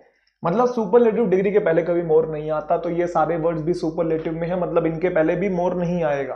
पहला पॉइंट दूसरा पॉइंट क्या मोस्ट स्वीटेस्ट कुछ टर्म कर सकता हूँ? आप बोलोगे, सर, ये भी नहीं कर सकते। क्योंकि जब सुपरलेटिव है तो डबल सुपरलेटिव आप कैसे बना रहे हैं? तो मतलब इन सारे वर्ड्स के पहले भी क्या नहीं आएगा? मोस्ट नहीं आएगा। कहने का मतलब किसी भी तरीके से, किसी भी तरीके से इनका दोबारा से कंपैरेटिव और सुपरलेटिव फॉर्म नहीं बनेगा। चाहे मोर और मोस्ट लगा के, चाहे ई e आर और ई लगा के, ये जैसे हैं, वैसे के वैसे रहेंगे। पहले से ये सारे के सारे वर्ड्स चेंज हैं। समझ में आया या नहीं आया? आसान बात है, ठीक है? एग्ज़ाम्पल के तौर पे this is the most unique animal that I have ever seen अब तक का सर सबसे यूनिक एनिमल है। अरे यूनिक का मतलब सबसे हटके ही होता है ना? तो आप उसके पहले मोस्ट कैसे लगा रहे हो? और अब तक हम ये सेंटेंस यूज़ भी करते आए हैं बहुत बार। गलत होता है ना? यूनिक अपने आप में सुपरलेटिव डिग्री बेटा मोस्ट नहीं आएगा। This is the unique animal that I have ever seen happiness is the chiefest aim of mankind ये चीफेस्ट क्या है बेटा? चीफेस्ट नहीं चीफ सुपरलेटिव डिग्री ये वर्ड्स प्रैक्टिस करते करते अपने आप आपको सारे याद हो जाएँगे। अलग से आपने रटने नहीं है, ठीक है? How can divide in India become the most supreme power अरे सुप्रीम का मतलब वैसे ही सर्वश्रेष्ठ होता है बेटा मोस्ट नहीं आएगा। ये जो बटा हुआ इंडिया है, ये सुप्रीम पावर कैसे बन सकता है? समझ में आया? चल दें आगे। चलिए, अगली कैटेगरी तरफ़ मूव ऑन करने की कोशिश करते हैं। सवाल देख लूँ पहले कोई? हाँ हाँ बिल्कुल क्वेश्चन तो होगा ही। नज़र डालो भाई जी। बताओ जी, क्या मिस्टेक है? पहले क्वेश्चन देखना बहुत ज़रूरी है, बहुत इंपॉर्टेंट है। जब हम कॉन्सेप्ट पढ़ते हैं तो फिर मज़ा आ जाता है। क्योंकि कॉन्सेप्ट पढ़ने के बाद फिर हम जब क्वेश्चन पे दोबारा आते हैं तो फील होता है यार मतलब पहले तो मैं कुछ और ही देख रहा था और अब तो एरर साफ़ साफ़ दिखाई दे रहा है। तो ये फील आना, ये कॉन्फिडेंस आना अपने आप में बहुत बड़ी चीज़ है। अरे है या नहीं है? डेफिनेटली है। कॉन्फिडेंस का ही सारा गेम है। अंग्रेज़ी आए ना आए कॉन्फिडेंस आना चाहिए। और जिस दिन कॉन्फिडेंस आ गया इंग्लिश के साथ साथ बहुत कुछ आ जाएगा लाइफ में, ठीक है? बहुत बच्चों में है ही नहीं। अपनी वर्थ समझते ही नहीं है कि वो क्या करने के काबिल है। कितनी उनके अंदर काबिलियत है। अपने आप को बहुत नकारते हैं, कोसते हैं, प्यार नहीं करते हैं, कुछ कारते नहीं है। वो बहुत ज़रूरी है, आपकी लाइफ में होना चाहिए वो, ठीक है? चलो यार बताओ, इनके अंदर क्या है बताओ? आप मुझसे पूछो ना सर लाइफ में कोई एक ऐसी शिक्षा बताओ, जो हमें पूरी ज़िंदगी इंप्लीमेंट करनी चाहिए। तो बस यही कहूँगा, आपको अपने आप से प्यार करें। अपने शरीर के एक एक पार्ट को, अपने माइंड के हर एक थॉट को, हर एक चीज़ को अपनाएँ। जैसे हैं आप, वैसे हैं, बिल्कुल परफेक्ट है, ठीक है? परफेक्ट तो अब देखो, वही वाली बात है परफेक्ट तो कोई नहीं होता। Nobody is perfect everybody has some imperfection ठीक है? परफेक्ट तो कुछ भी नहीं है, लेकिन जितना है यू आर इनफ लिख लो इस बात को कहीं पे। I am not perfect but I am enough I am not perfect but I am enough जो है जितना हूँ, बढ़िया है, ठीक है जी? चलो जी, बताओ। बोलो। मिस्टेक पता लगी? चलो, इनको फिर डिटेल में सीखते हैं, बहुत अच्छे से।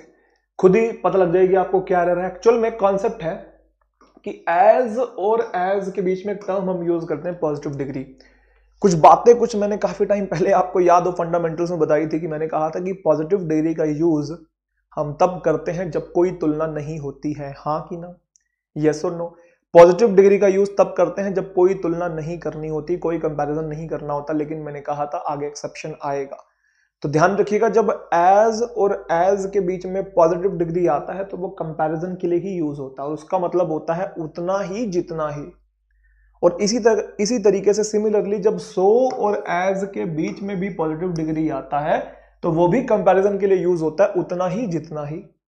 ये दोनों के दोनों सेम कॉन्सेप्ट है. As positive degree as so positive degree as इन दोनों का मतलब होता है उतना ही जितना ही और ये कंपैरिजन के लिए ही यूज़ होते हैं पहला पॉइंट दूसरा पॉइंट सर अगर दोनों के दोनों कंपैरिजन के लिए यूज़ होते हैं, ये एज एज और सो एज तो इस एज एज को सो एज में बदलने की क्या ज़रूरत थी? बदलने की कोई ज़रूरत नहीं थी, लेकिन इनका यूज़ अलग अलग टाइप के सेंटेंसेस में होता है. जैसे एज और एज का यूज़ हम करते हैं अफर्मेटिव सेंटेंसेस में. अफर्मेटिव मतलब सकारात्मक सेंटेंसेस में।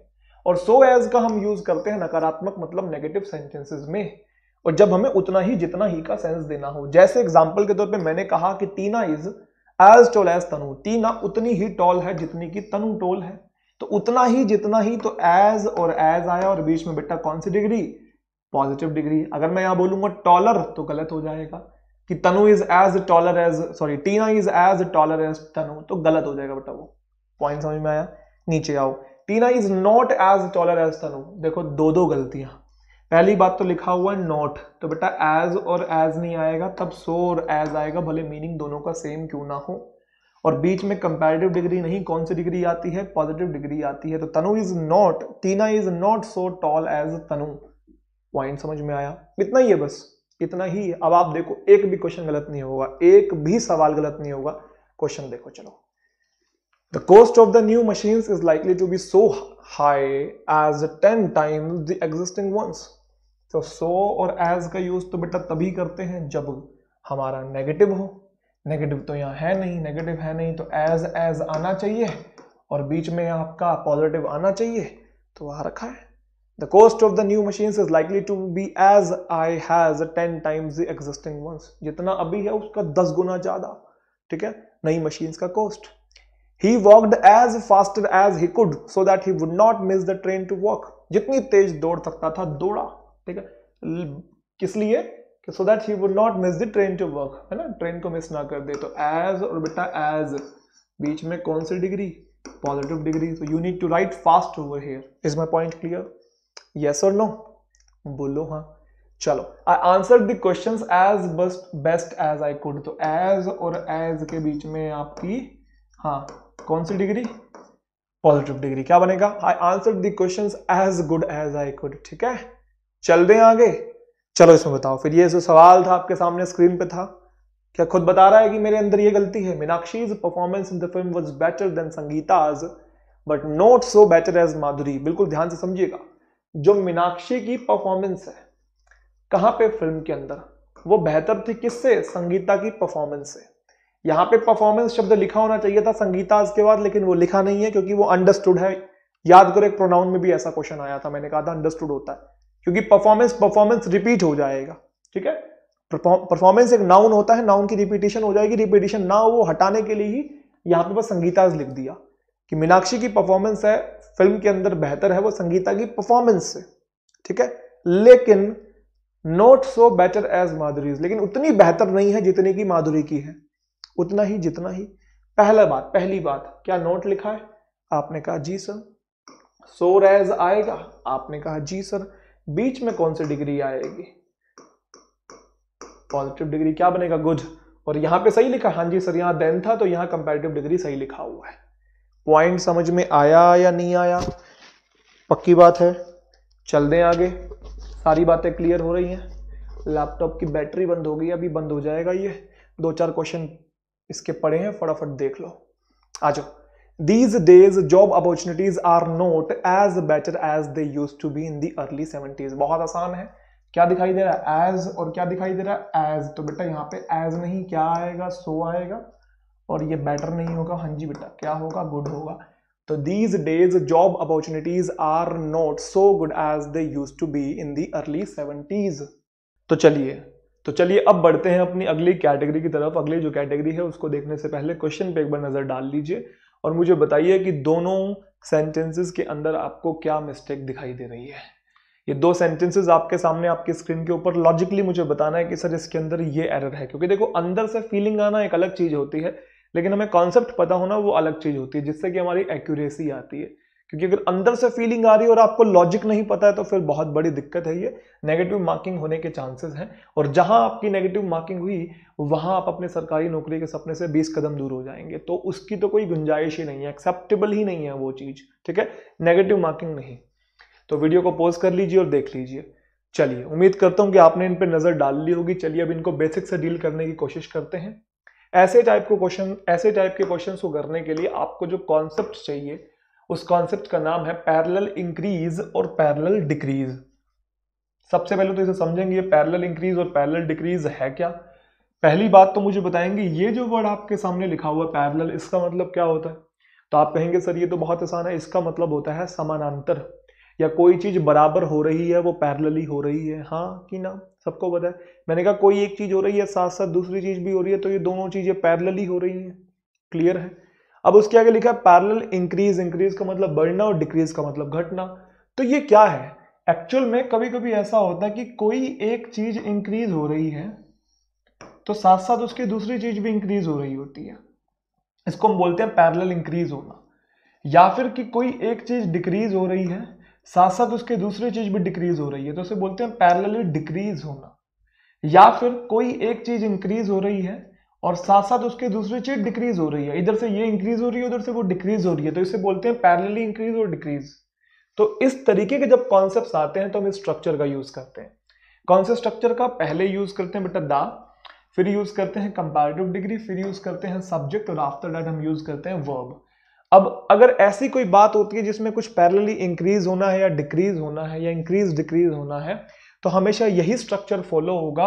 और दो बार फॉलो होगा। कितनी बार? दो बार। क्यों? क्योंकि दो चीज़ें डिक्रीज या इंक्रीज हो रही होती हैं। पैरेलली है ना तो कम से कम दो चीज़ें तो होनी चाहिए, तभी तो एक दूसरे के पैरेलल होगा। तो ये स्ट्रक्चर दो बार यूज़ होता है और किसी भी तरीके से स्ट्रक्चर को आपने मेंटेन रखना है इस टाइप के सेंटेंसेस में। सर इन सेंटेंसेस को थोड़ा सा और एक्सप्लेन करो, हमको समझ में नहीं आ रहा। शायद ऐसा डाउट होगा आप लोगों का। चलो, मैं आपको और एक्सप्लेन करता हूँ।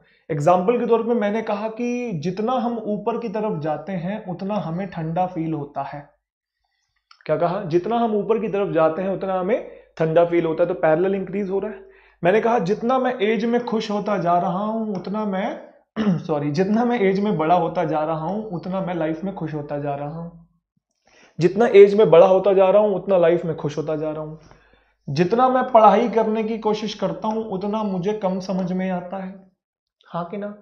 जितना मैं उसे मनाने की कोशिश करता हूँ, उतना वो मुझसे रूठ जाती है। हाँ कि ना? बोलो, जितना मैं उसे मनाने की कोशिश करता हूँ, उतना वो मुझसे रूठ जाती है। तो उम्मीद करता हूँ कि मेरा पॉइंट आप लोगों को समझ में आ गया होगा कि पैरेलल इंक्रीज और डिक्रीज किस टाइप के सेंटेंसेस होते हैं। और उनमें ये स्ट्रक्चर आपको किसी भी तरीके से मेंटेन रखना है। अगर ये स्ट्रक्चर आपने मेंटेन नहीं रखा तो गड़बड़ हो जाएगी। कैसे? एग्ज़ाम्पल के तौर पर आपके सामने एक सेंटेंस है the higher we go cooler we feel तो देखते ही आपको पता लग जाएगा, जितना हम ऊपर की तरफ़ जाते हैं, उतना हम ठंडा फील करते हैं. ये तो पैरेलल इंक्रीज डिक्रीज वाला है. चलो एक बार एक काम करते हैं चेक कर लेते हैं. पहले दा आया हाँ जी, दा आया. उसके बाद कंपैरेटिव डिग्री आई हाँ जी कंपैरेटिव डिग्री आई. फिर आपका सब्जेक्ट आया हाँ जी सब्जेक्ट आया. और फिर आपका वर्ब आया हाँ जी वर्ब आया. और ये स्ट्रक्चर दोनों जगह होना चाहिए, यहाँ पे भी और वहाँ पे भी. क्या आगे दा है? नहीं है. तो भैया कंपेरेटिव डिग्री के पहले दा लगाना था। अब आया आपका कंपेरेटिव डिग्री फिर आया सब्जेक्ट और वर्ब सब्जेक्ट और वर्ब आपका आया पॉइंट समझ में आया? तो डिस्टोर्ट नहीं करना है, पूरा मेंटेन करना है। The higher we go the cooler feel कभी कभी वो क्या करता है? वर्ब को इधर ले आएगा सब्जेक्ट को उधर ले जाएगा। कभी यहाँ से दा हटा देगा, कभी वहाँ से दा हटा देगा। कभी इस वाली वर्ब को इधर ले आएगा सब्जेक्ट को उधर ले जाएगा। कभी इस कंपैरेटिव को पॉजिटिव में लिख देगा सुपरलेटिव में लिख देगा, कभी इसको चेंज कर देगा। आपने मेंटेन रखना है। यस और नो चलें the older I get the happier I am am I सही है, गलत है। The plus comparative degree plus subject plus verb यहाँ तक तो सही है। The plus comparative degree plus subject plus verb होना था, जबकि यहाँ पे पहले वर्ब है, फिर सब्जेक्ट है तो आई एम होना चाहिए। उम्मीद करता हूँ कि बेसिक जो आपको सेंटेंसेस हैं, वो समझ में आ गए। अब आप खुद करके देखिए, मुझे बताइए कि आपको समझ में आए या नहीं आए। आपके सामने एक question the more I study the less I learn इस सेंटेंस में क्या मिस्टेक है?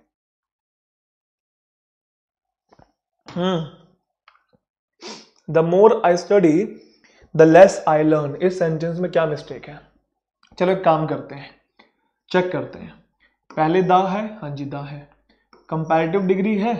हाँ जी कंपैरेटिव डिग्री है। कैसे पता लगा? हमको पता है कि मच होती है पॉजिटिव डिग्री मोर होती है कंपैरेटिव डिग्री और मोस्ट होती है superlative degree much more most तो the plus comparative degree plus subject और प्लस वर्ब मतलब यहाँ तक तो स्ट्रक्चर मेंटेन्ड है।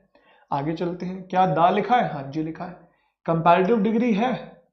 क्या ये कंपेरेटिव डिग्री है या नहीं है? बताओ मुझे सभी स्टूडेंट्स चलो, नहीं पता तो मैं बता देता हूँ। अभी पहले ही बताया था, आज की क्लास के अंदर ही मतलब इसी वीडियो के अंदर ही लिटिल लेस लेसर और लीस्ट याद होगा positive degree comparative degree superlative degree positive degree comparative degree और सुपरलेटिव डिग्री तो दा आया और कंपैरेटिव डिग्री आनी चाहिए हाँ जी लेस आया हुआ है।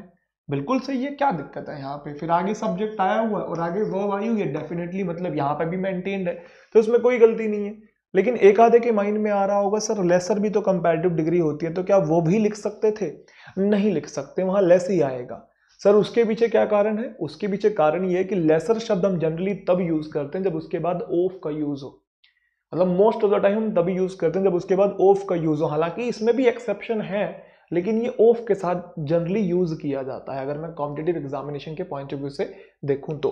तो क्या कहा? अब ये बताएँगे, ये लिखा हुआ सही है, गलत है? लेस और लेसर का भी हम नहीं जान रहे।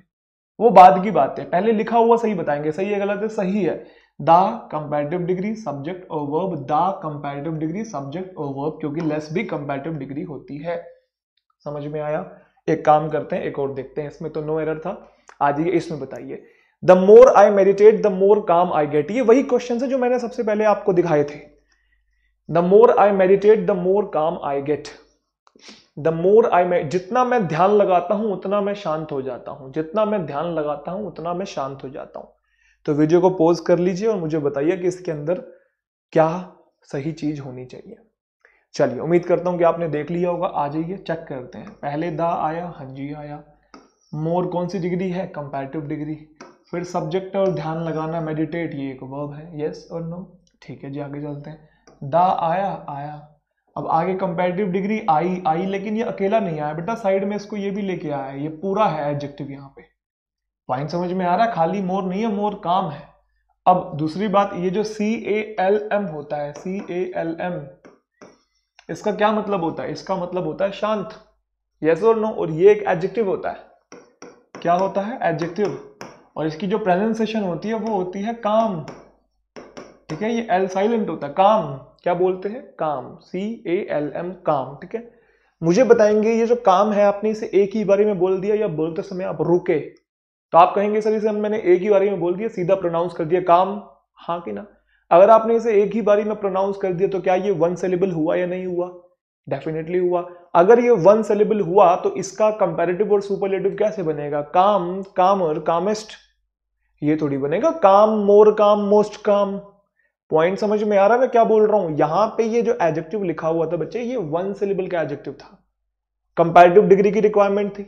और कंपैरेटिव डिग्री लिखी तो हुई है, लेकिन मोर काम कर दिए जबकि काम की कंपैरेटिव डिग्री कामर और कामेस्ट बनती है।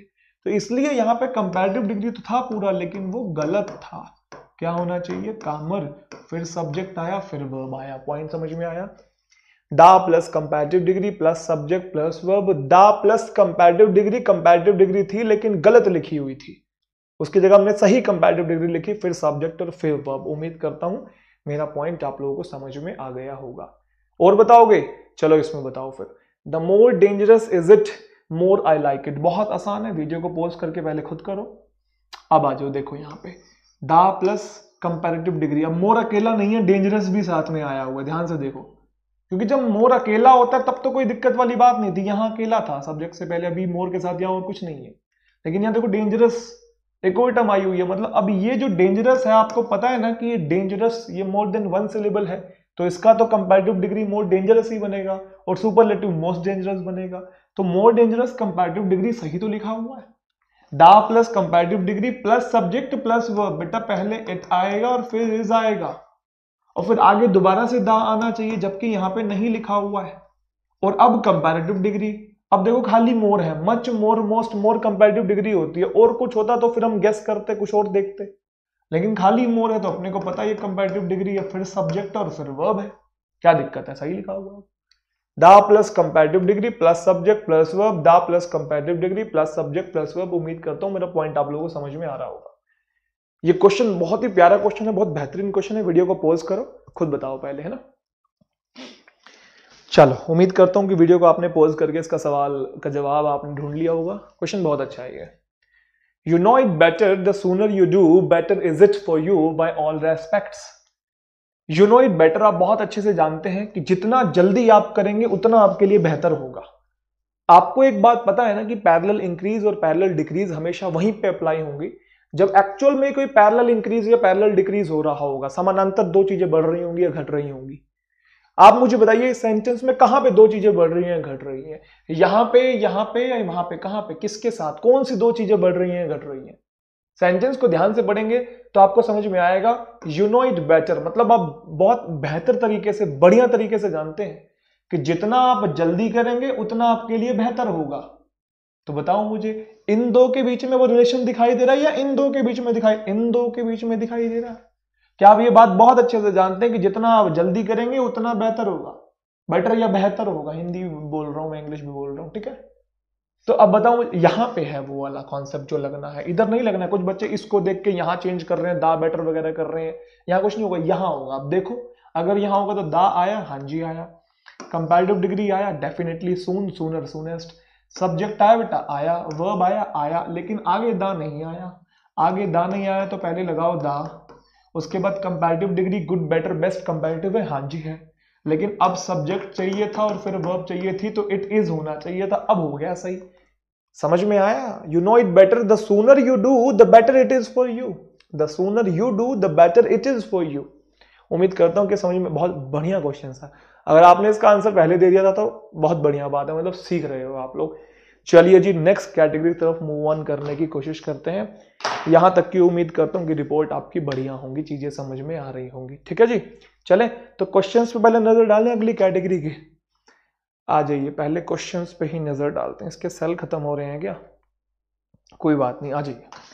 चलिए तो ये तीन सेंटेंस आपके सामने, पहले इन तीनों सेंटेंसेस को देखिए और मुझे बताइए कि इनके अंदर कुछ मिस्टेक किसी भी तरीके की? कौन सा सही है, इनमें से कौन सा गलत है?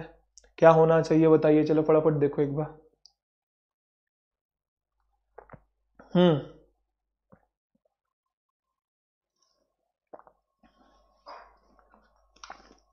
आ जाओ, चलो। Tanu is as tall as any girl in the class Tanu is taller than Tanu is taller than any girl in the class और अगला है तनु इज़, तनु तनु क्यों बोल रहा हूँ इसे मैं। तनु है ये, ठीक है? तनु भी नहीं है, तनु, ठीक है? तनु इज़ चलो, ऐसे मत बोलना सर, तनु नाम आते आपकी जीभ क्यों लड़खड़ाने लगती है। आपकी ज़ुबान क्यों जीभ कह रहा हूँ, ज़ुबान क्यों लड़खड़ाने लगती है। नहीं, ऐसी कोई बात नहीं है, बाकी आप लोग ज़्यादा समझदार हैं।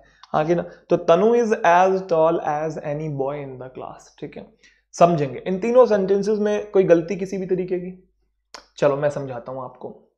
कि क्या गलतियाँ हैं, क्या नहीं है। पहले दो सेंटेंसेस में एनी अदर गर्ल और एनी अदर गर्ल होगा और नीचे वाले सेंटेंस एकदम सही लिखा हुआ है, ठीक है। अब ये क्या है, क्या नहीं है, इसे डिटेल में सीखने की कोशिश करेंगे बड़े प्यार से, ठीक है। आ जाओ, चलो। पहले सेंटेंस को उठाते हैं।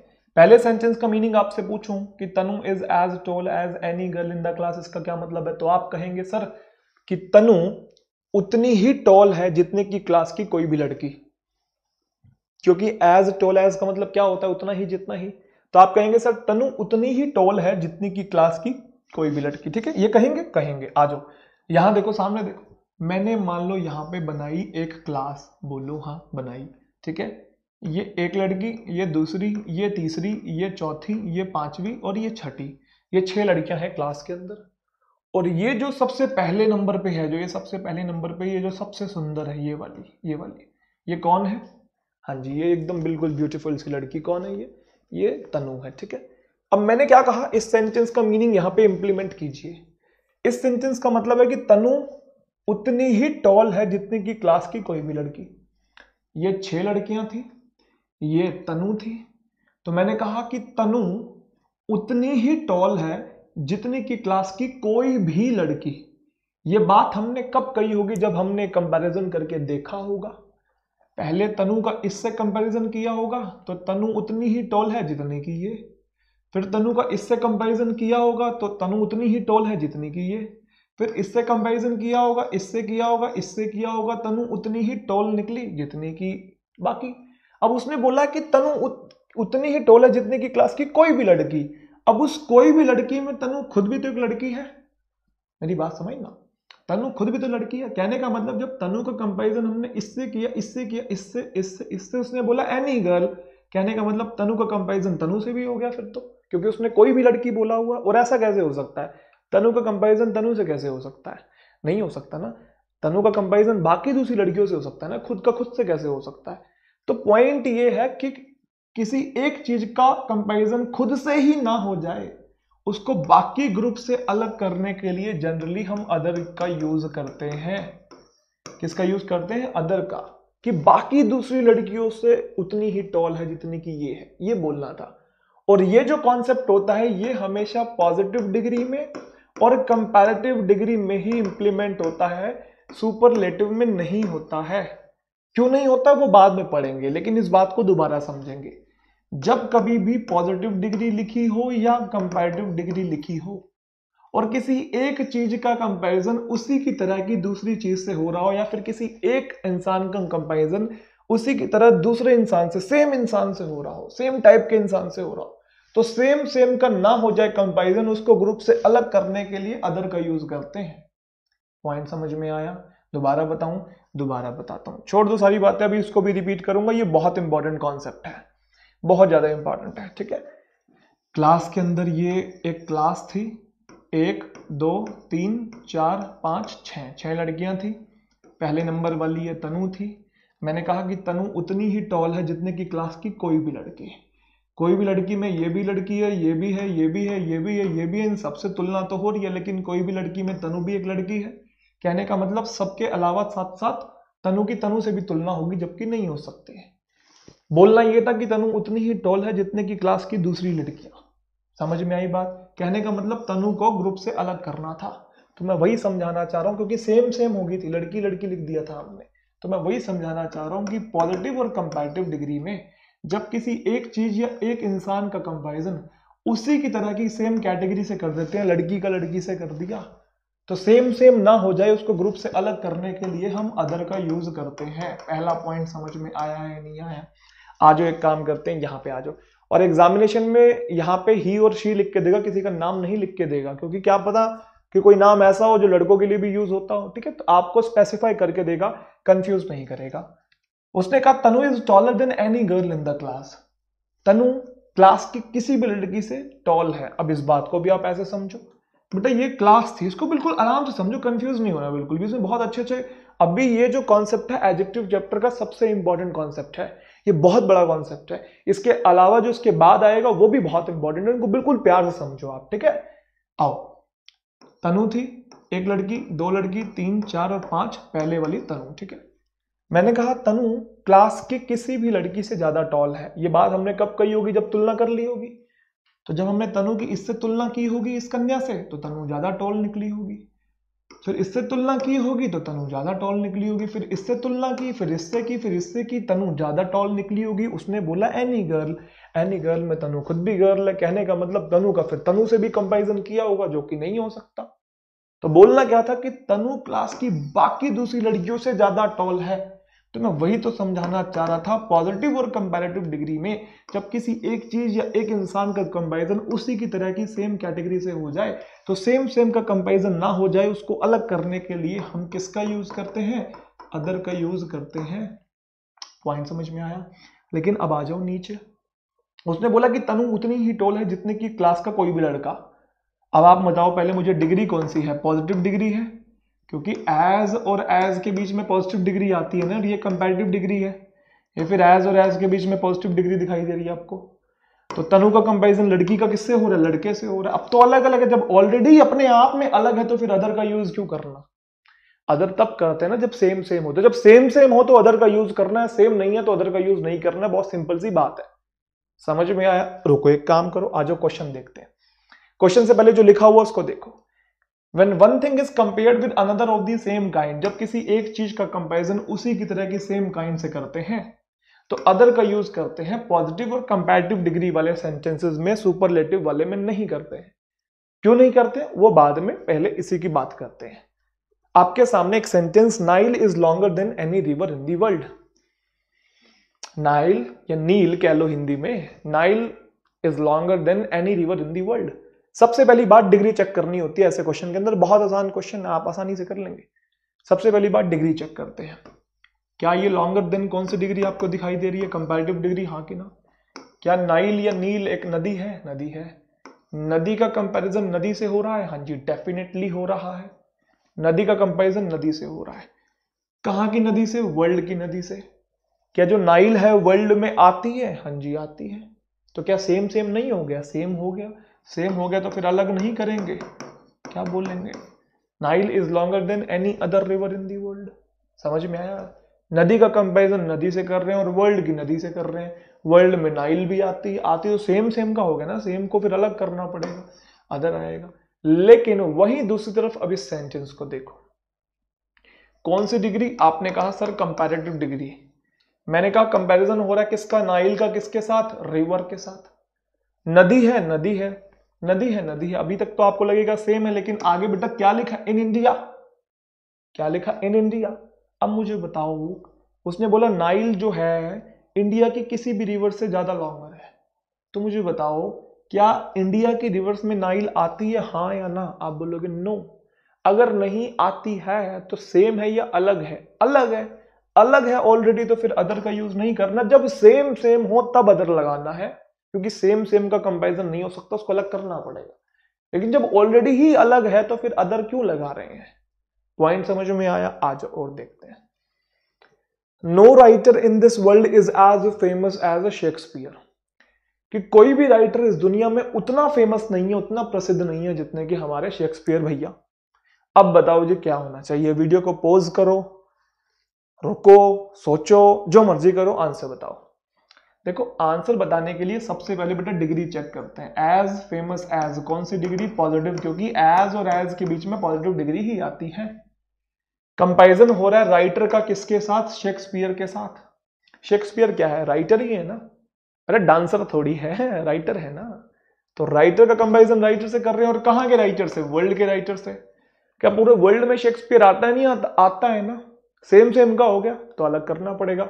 अलग करना पड़ेगा तो यहाँ पे अदर यूज़ करेंगे। No other writer in this world is as famous as Shakespeare आया पॉइंट समझ में या नहीं आया? अब इसको देख लो एक बार।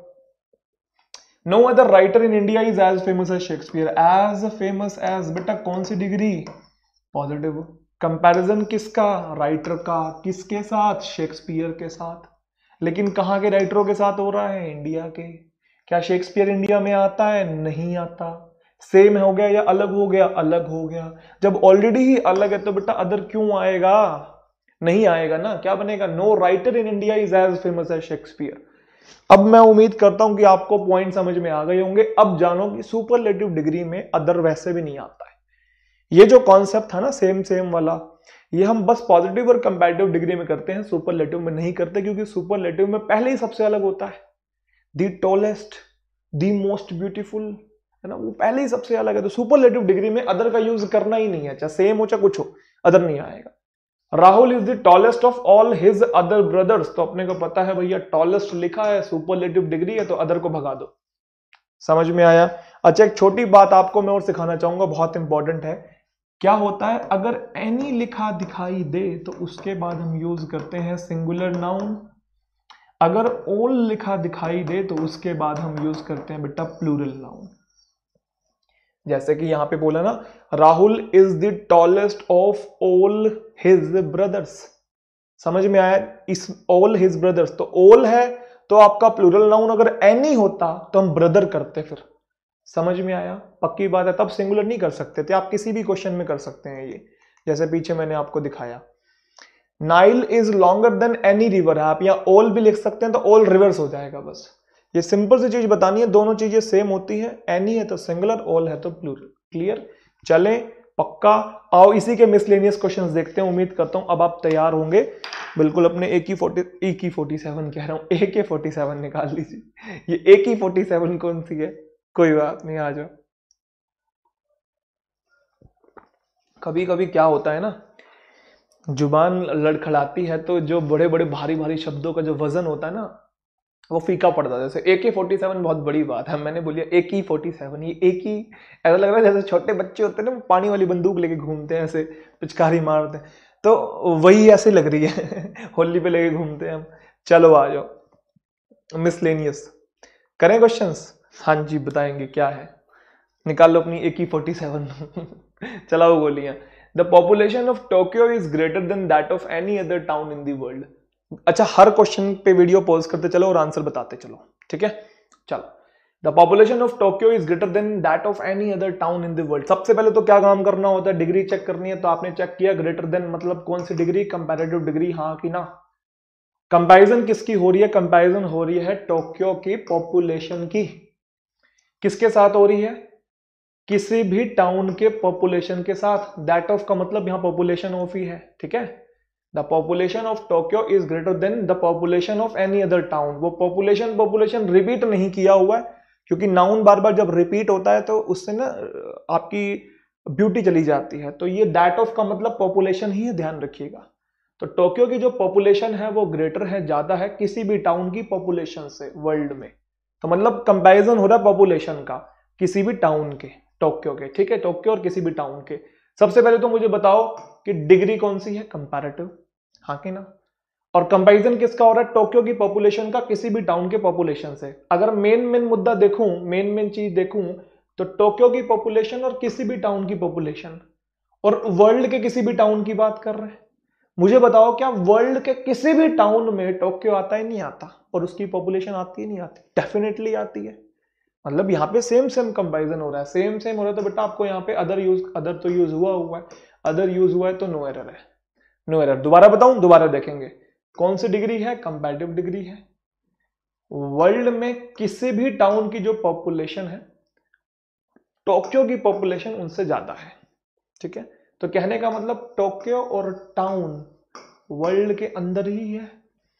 हाँ कि ना? टोक्यो वर्ल्ड का ही तो टाउन है। सेम सेम तो हो गया ना। सेम सेम हो गया तो इसलिए हमने यहाँ पे अदर का यूज़ किया। मतलब नो है। पॉइंट समझ में आया, नहीं आया? उम्मीद करता हूँ आ गया होगा। चलो no traders in this town is as honest and sincere as Shri Hariprasad degree check करेंगे एज और एज हाँ बेटा, कौन सी डिग्री पॉजिटिव डिग्री हाँ कि ना? पॉजिटिव डिग्री है इसके अंदर? हाँ जी डेफिनेटली है। तो जी, अब क्या करें? कंपैरिजन किसका हो रहा है? No trader in this town कोई भी ट्रेडर इस टाउन में उतना ऑनेस्ट और सिंसियर नहीं है जितना कि हरि प्रसाद तो हमें अज्यूम करना पड़ेगा कि हरि प्रसाद भी एक ट्रेडर है, क्योंकि कुछ बताया नहीं है ट्रेडर की बात की है। तो कहने का मतलब ट्रेडर का कंपैरिजन ट्रेडर से हो रहा है।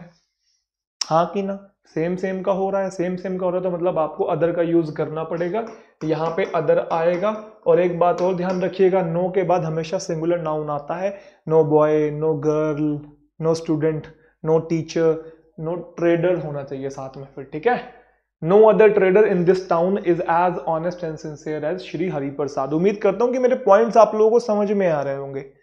पक्की बात है ना? चलो, इसमें बताओ, चलो वीडियो को पोज करके। बताओ बताओ, जल्दी बताओ। All of you will agree with me that no problem faced by our society is as grave and intractable as this problem is हाँ जी, क्या रिपोर्ट है? फटाफट फटाफट बताएँगे। चलो, ठीक है, मैं समझा देता हूँ आपको। यहाँ देखेंगे। हर कोई एग्री करेगा मेरे साथ कि कोई भी प्रॉब्लम प्रॉब्लम जो हमारी सोसाइटी फेस करती है वो उतनी सीरियस और उतनी अनमैनेजेबल नहीं है जितनी की ये वाली प्रॉब्लम है। ठीक है? इंट्रैक्टेबल का मतलब अनमैनेजेबल अनकंट्रोलेबल ठीक है? अब मुझे बताओ कि एक बात डिग्री कौन सी है? डिग्री तो एज और एज के बीच में बेटा पॉजिटिव डिग्री कंपेरिजन किसका हो रहा है? सोसाइटी के द्वारा फेस की जाने वाली प्रॉब्लम का किससे हो रहा है? इस प्रॉब्लम से। सेम सेम का हो गया? नहीं हो गया? सेम का हो गया तो फिर अदर आएगा? नहीं आएगा? डेफिनेटली आएगा। बोल दूसरा क्या आएगा? No other problem face by our society is as grave and intractable as this problem is ठीक है जी? आ जाओ। There is no argument against the fact that humans are the most intelligent of all other species सोचने की ज़रूरत ही नहीं है। उसने बोला मोस्ट इंटेलिजेंट मोस्ट इंटेलिजेंट बोले तो बेटा अदर आएगा ही नहीं। और देखो, अब ओल लिखा हुआ है तो स्पीसीज आया हुआ एनी होता तो स्पीसीज हो जाता। स्पीसीज तो एक्चुअल में स्पीसीज ही रहता है। ये तो चेंज ही नहीं होता। मैं तो बताना ही आपको भूल गया था। है ना? स्पीसीज तो स्पीसीज ही रहता है, ठीक है? चलो, आओ। अगला क्वेश्चन देखें, अगला देखते हैं। No method of making other people agree to your view point is as effective as this method no method of making other people agree to your view point is as effective as this method कहने का मतलब method और method का comparison हो रहा है। कि कोई भी मेथड इतना इफ़ेक्टिव नहीं है किसी को व्यू पॉइंट से अग्री करवाने का जितना कि ये वाला है। तो मेथड मेथड सेम है तो फिर आपको अदर लगाना पड़ेगा। नो अदर मेथड होगा। हाँ कि ना? डेफिनेटली आ जाओ, चलो वीडियो को पोस्ट करो, फटाफट बताओ। बोलो बोलो। It is a well known fact that leopard is faster than all animals कौन सी डिग्री है? कंपैरेटिव डिग्री कंपैरिजन किसका हो रहा है? लेपर्ड का। किससे? एनिमल से हो रहा है। अच्छा ध्यान रखिएगा, आप कभी सोच रहे हो, सर कंपैरेटिव डिग्री तो दो के लिए आता है, ये तो इतने सारे एनिमल्स हो गए। तो यहाँ पे कंपैरेटिव डिग्री कैसे आ गया? एक्चुअल में जब कंपैरिजन करेंगे तो एक एक एनिमल के साथ ही करेंगे। लेपर्ड का पहले आप मान लो कि एलिफेंट के साथ कर रहे हैं लेपर्ड का फिर डॉग के साथ कर रहे हैं लेपर्ड का फिर आप जिराफ के साथ कर रहे हैं एक एक करके कंपैरिजन कर रहे हैं मतलब दो दो आइटम्स को उठा रहे हैं। पॉइंट्स कंपैरिजन तो हो रहा है बहुत सारों में, लेकिन आप ये देखो, पहले लेपर्ड का इससे, फिर लेपर्ड का इससे, फिर लेपर्ड का उससे तो दो के बीच में तो है जनरली कंपैरिजन हांगे ना? पॉइंट वो नहीं है लेकिन पॉइंट क्या है? कि जो कॉन्सेप्ट सिखाया वो इंप्लीमेंट करना है अभी, ठीक है? मिसलेनियस तो बाद की चीज़ें हैं, अभी जो सिखा रहे हैं पहले उसे इंप्लीमेंट करो। कंपेरेटिव डिग्री है डेफिनेटली है। लेपर्ड का कंपैरिजन एनिमल से हो रहा है? हाँ जी, हो रहा है। सेम है, क्या ऑल एनिमल्स में लेपर्ड आता है या नहीं आता? डेफिनेटली आता है। अगर आता है तो बेटा यहाँ पे फिर अदर यूज़ करना पड़ेगा ना? सेम सेम हो गया ना? पक्का, सौ परसेंट चल रहे आगे। इसमें बता दो। Of other all my neighbours he is the kindest and most considerate अरे यार, सोचने की ज़रूरत नहीं है। काइंडेस्ट का मतलब सुपरलेटिव डिग्री तो फिर अदर आएगा ही नहीं। पॉइंट समझ में आया? चल दें आगे और देखेंगे। आ जाओ जी, और क्वेश्चंस देखते हैं। और क्वेश्चंस देखते हैं। और क्वेश्चंस देखते हैं। तो फिर यहाँ पे हमारे क्वेश्चन खत्म होते हैं इस कैटेगरी के। ये जो कैटेगरी थी, सबसे इंपॉर्टेंट थी, उम्मीद करता हूँ, उम्मीद करता हूँ कि सारे पॉइंट्स आपको बेसिक से लेकर एडवांस तक कवर हो गए होंगे। ठीक है जी? फिर भी कुछ नहीं समझ में आया तो वीडियो को एक बार दोबारा से देख लीजिएगा, आपको समझ में आ जाएगा।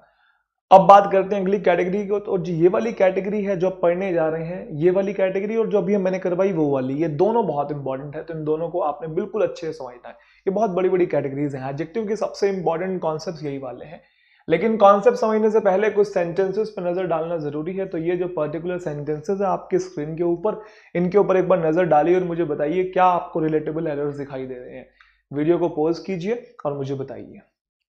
चलिए, उम्मीद करता हूँ कि वीडियो को आपने पॉज कर लिया होगा और देख लिए होंगे इनके अंदर एरर्स चलिए, इन्हें बेसिक से डील करने की कोशिश करते हैं।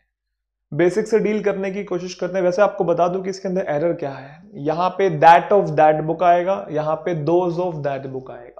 मतलब दैट बुक से पहले दैट ऑफ़ आएगा और दैट शॉप से पहले दोज ऑफ़ आएगा, ठीक है? ये इनके अंदर एरर्स है। तो इस बात को सीखने के लिए आपको पहले आसान सेंटेंसेस लेने पड़ेंगे, बिल्कुल बच्चे वाले सेंटेंस हैं, उनको लेते हैं, उनके थ्रू समझने की कोशिश करते हैं। सबसे पहला आपके सामने sentence the climate of Chennai is hotter than Delhi अगर मैं आपसे पूछूँ कि इस सेंटेंस का पर्टिकुलर मीनिंग क्या है तो आप क्या कहेंगे?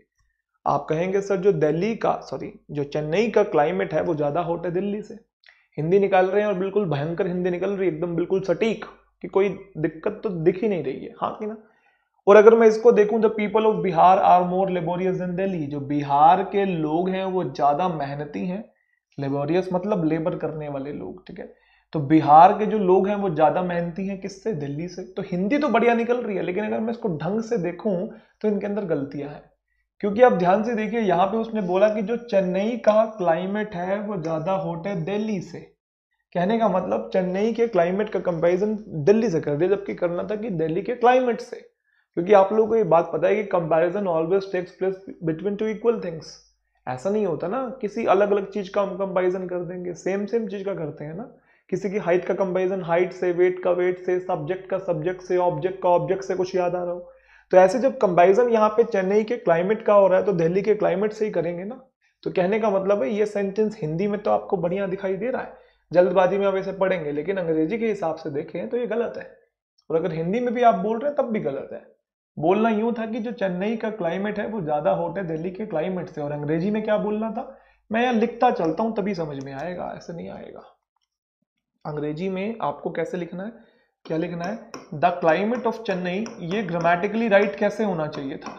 The climate of Chennai is is hotter than the climate of Delhi क्या ये होना चाहिए था, नहीं होना चाहिए था? Than the climate of Delhi अब आप देखेंगे कंपैरिजन बिल्कुल सही हो रहा है। अब इसके अंदर कोई भी किसी भी तरह कोई मिस्टेक नहीं है, अगर ध्यान से देखें तो। कि चेन्नई का क्लाइमेट है, ज़्यादा हॉट दिल्ली के क्लाइमेट से। लेकिन अभी भी यहाँ पे कोई वीक एरर है। उस वीक एरर को जानने से पहले इस सेंटेंस को देखेंगे, ये भी गलत लिखा हुआ है कि बिहार के लोग ज़्यादा मेहनती हैं दिल्ली से या दिल्ली के लोगों से? अरे, दिल्ली के लोगों से। पीपल का कंपैरिजन हो रहा है। तो सेंटेंस पूरा यूँ बनना चाहिए द पीपल ऑफ़ बिहार है ना? Are more laborious laborious than the people of Delhi than the people of Delhi अब उम्मीद करता हूँ कि पॉइंट तो समझ में आ गया होगा, लेकिन इनके अंदर अभी भी मिस्टेक है। देखो, पहले तो ये देख लो इसको सही लिखा है कि जो बिहार के लोग हैं, वो ज़्यादा मेहनती हैं किससे? दिल्ली के लोगों से। अब कंपैरिजन तो एकदम सही हो गया। कंपैरिजन में कोई दिक्कत नहीं है। समझना इस बात को। लेकिन अभी भी वीक एरर है। वीक एरर ये है कि यहाँ पे क्लाइमेट और वहाँ पे क्लाइमेट क्लाइमेट क्लाइमेट बार बार रिपीट हो रहा है। और यहाँ पे पीपल और वहाँ पीपल बार बार रिपीट हो रहा है। सर, इससे क्या फ़र्क पड़ गया क्लाइमेट और पीपल के रिपीट होने से? आप ध्यान से देखिए, उसके पहले आर्टिकल लिखा हुआ है, दा। इसके पहले आर्टिकल है, दा। जिसके पहले आर्टिकल होते हैं, दा तो उसे हम क्या कहते हैं? नाउन कहते हैं। और जब नाउन बार बार रिपीट होता है तो उसकी जगह प्रोनाउन यूज़ करते करते हैं नहीं करते प्रोनाउन तो जब नाउन बार बार रिपीट होता है तो वो भद्दापन लेके आता है ना। उसकी रिपीटेशन बार बार नहीं हो सकती ना। अगर मैं ऐसा बोलूँ कि Rahul is my friend and Rahul is very intelligent sentence तो सही है, लेकिन वीक एरर है, क्योंकि राहुल राहुल रिपीट हो रहा है। आपको बाद वाले सेंटेंस में राहुल की जगह ही लिखना पड़ेगा कि ही इज़ वेरी इंटेलिजेंट तो ब्यूटी मेंटेन करने के लिए हम नाउन को बार बार रिपीट नहीं कर सकते। तो इस तरह के केसेस में इनको हम बोलते हैं फॉल्टी कंपैरिजन क्या बोलते हैं? फॉल्टी कंपैरिजन तो इस तरह के केसेस में जब आपका गलत कंपैरिजन हो रहा होता है और सिंगुलर नाउन रिपीट हो जाए, ये सिंगुलर है, ये प्लूरल है। सर, हमने कैसे पहचाना ये सिंगुलर है, ये प्लूरल है? क्योंकि आगे जो वर्ब आई हुई है इज़ वो इसी के लिए आई हुई है सिंगुलर और ये प्लूरल है क्योंकि आगे जो वर्ब आई हुई है आर वो इसी के लिए आई हुई है। तो फॉल्टी कंपैरिजन वाले केसेस में जब सिंगुलर नाउन रिपीट हो रहा हो तब हम यूज़ करते हैं दैट ऑफ़ का। किसका? दैट ऑफ़ का। और जब प्लूरल नाउन रिपीट होता है तो उस नाउन की रिपीटेशन हटाने के लिए हम जो प्रोनाउन यूज़ करते हैं, वो यूज़ करते हैं दोज ऑफ़ तो यहाँ पे अब सेंटेंस ये बनना चाहिए the climate of Chennai is hotter than the climate of Delhi नहीं दैट ऑफ़ दिल्ली क्योंकि सिंगुलर है ना सिंगुलर के लिए दैट ऑफ़ प्लूरल के लिए दोज ऑफ़ तो जो क्लाइमेट है, चेन्नई का होटर है देन दैट ऑफ़ दिल्ली वो दैट ऑफ़ का मतलब क्लाइमेट ऑफ़ ही है। ठीक है, बस रिपीट नहीं किया क्लाइमेट को। और यहाँ बनना चाहिए the people of Bihar are more laborious than the people of Delhi नहीं दोज ऑफ़ दिल्ली क्योंकि पीपल पीपल रिपीटेशन से सेंटेंस में भद्दा बना रहा है। तो जो बिहार के लोग हैं, ज़्यादा मेहनती है देन दोज ऑफ़ दिल्ली का मतलब है दिल्ली के लोगों से। पॉइंट समझ में आया या नहीं आया? जब सिंगुलर नाउन रिपीट है तो दैट ऑफ़ जब प्लूरल रिपीट है तो दोज ऑफ़ सेंटेंस लिखा हुआ था ये कि चेन्नई का क्लाइमेट ज़्यादा हॉट है, दिल्ली से ये गलत था। बोलना क्या था कि चेन्नई का क्लाइमेट ज़्यादा हॉट है, दिल्ली के क्लाइमेट से? लेकिन क्लाइमेट क्लाइमेट रिपीट हो रहा है और ये सिंगुलर है क्योंकि इससे पता लगा। इसलिए जो रिपीट रिपीटेशन हो रही है, उसकी जगह प्रोनाउन चाहिए था और सिंगुलर है तो दैट ऑफ़ चाहिए। इसलिए चेन्नई का क्लाइमेट ज़्यादा हॉट है, दिल्ली के क्लाइमेट से दैट ऑफ़ का मतलब क्लाइमेट है। पॉइंट समझ में आया? एक छोटी सी बात आपको बताना चाहूँगा। एग्जामिनेशन में आपको कर करके नहीं देखना है कि इसके बाद आप ये कर रहे हैं, फिर ये बना रहे नहीं, मन मन में करनी है चीज़ें। मन में कैसे? देखो, आप सेंटेंस देखेंगे, चेन्नई का क्लाइमेट ज़्यादा हॉट है, दिल्ली से आपके मन में आ गया कि दिल्ली के क्लाइमेट से ज़्यादा हॉट ऐसा होना चाहिए। अगर आपके माइंड में आ गया कि दिल्ली के क्लाइमेट से होना चाहिए तो आपके माइंड में ये भी आ गया कि क्लाइमेट क्लाइमेट रिपीट हो रहा है। और अब जब आपके माइंड में ये आ गया कि क्लाइमेट क्लाइमेट रिपीट हो रहा है तो आपको ये भी दिखाई दे रहा है कि क्लाइमेट इज़ मतलब सिंगुलर है। तो आपको कहने का मतलब है कि यहाँ पे बीच में दैट ऑफ़ को इंसर्ट करना है और दैट ऑफ़ को इंसर्ट कहाँ करेंगे? लास्ट वाले वर्ड से पहले। लास्ट वाले वर्ड से पहले। पॉइंट समझ में आया? जैसे इसको देखो एक बार। आपने देखा था कि जो बिहार के लोग हैं, ज़्यादा मेहनती हैं दिल्ली से। माइंड में इमेज बन गई दिल्ली के लोगों से। तो आपको पता है कि पीपल पीपल आना चाहिए दोनों जगह। लेकिन पीपल पीपल नहीं लिख सकते। और पीपल प्लूरल नाउन है, आपने यहाँ पे आर देखा। तो आपको पता है पीपल की जगह दोज ऑफ़ आना चाहिए। दोज ऑफ़ कहाँ लिखेंगे? जो लास्ट वाला है, उससे पहले। समझ में आया? पक्की बात है? आ जाओ। आसान सेंटेंस देखते हैं पहले, उसके बाद हम थोड़े फिर अच्छे सेंटेंस देखेंगे। पहले आसान सेंटेंसेस में आप बताएँगे सभी बच्चे। ठीक है? चलो, बताओ। The quality of Nike is better than Puma Nike की जो क्वालिटी की बात हो रही है, उसको पूमा से कंपेयर कर रहे हैं, जबकि पूमा की क्वालिटी से करना था, लेकिन मन मन में पता है। Quality of Nike is better than the quality of Puma तो quality of Puma quality of Nike quality quality repeat हो जाएगा और वो सिंगुलर है। सिंगुलर है तो यहाँ पे क्या आना चाहिए बता दैट ऑफ़ पूमा ये बेसिक सेंटेंसेस हैं अभी। अच्छे सेंटेंसेस भी आएँगे। The roads of Chandigarh are cleaner than Jaipur Chandigarh शहर की जो सड़कें हैं, वो ज़्यादा साफ़ है जयपुर से या जयपुर शहर की सड़कों से। कोर्स सड़कों से ना। तो रोड्स आना चाहिए। The roads of Chandigarh are cleaner than the roads of Jaipur लेकिन रोड्स रोड्स नहीं लिख सकते। तो लास्ट वाले वर्ड से पहले यहाँ पे आप क्या लिखेंगे बेटा? दोज ऑफ़ लिखेंगे। समझ में आ रहा है? पक्की बात है चंडीगढ़ शहर की जो सड़कें हैं, वो ज़्यादा साफ़ है जयपुर शहर की सड़कों से। पॉइंट समझ में आया? चल रहे आगे। पक्की बात है। अब बताओ इनके अंदर। सेंटेंसेस में थोड़े थोड़े वेरिएशंस लाते हैं। अब ज़्यादा डिटेल में नहीं आना है आपने। अब बस एक कॉमन आइडिया लेना है कॉमन जस्ट लेना है और देखना है क्या गलती है। कॉमन आइडिया बस। क्योंकि अब उस तरीके से नहीं सेंटेंस आपको दिखेंगे जैसे मैंने अभी करवाया वो कॉन्सेप्ट समझाने के लिए थे। ये आए हुए सेंटेंसेस हैं। देखो। Our soldiers were better train than that of the enemies हमारे जो सोल्जर्स हैं, वो बढ़िया तरीके से ट्रेंड है एनिमी के सोल्जर्स से। तो सोल्जर सोल्जर मतलब प्लूरल वाला आना चाहिए था। दैट ऑफ़ तो सिंगुलर के लिए आता है। आया तो हुआ है कंपैरिजन वाला ऑलरेडी लेकिन गलत कंपैरिजन वाला आया हुआ है। होना तो वैसे ये चाहिए था। Our soldiers were better train than soldiers of the enemies लेकिन वो सोल्जर्स सोल्जर्स नहीं लिख सकता था ना। तो इसलिए उसने उसकी जगह दैट ऑफ़ लिख दिया। लेकिन दैट ऑफ़ भी गलत है क्योंकि सोल्जर्स बेटा प्लूरल है ना। तो आगे दैट ऑफ़ नहीं दोज ऑफ़ आना चाहिए था। तो उम्मीद करता हूँ समझ में आया होगा, ठीक है?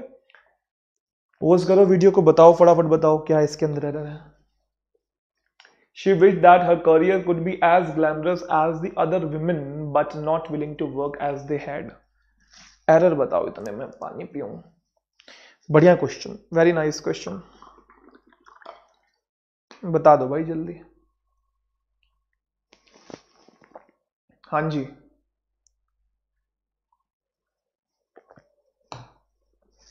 देख लिया सबने।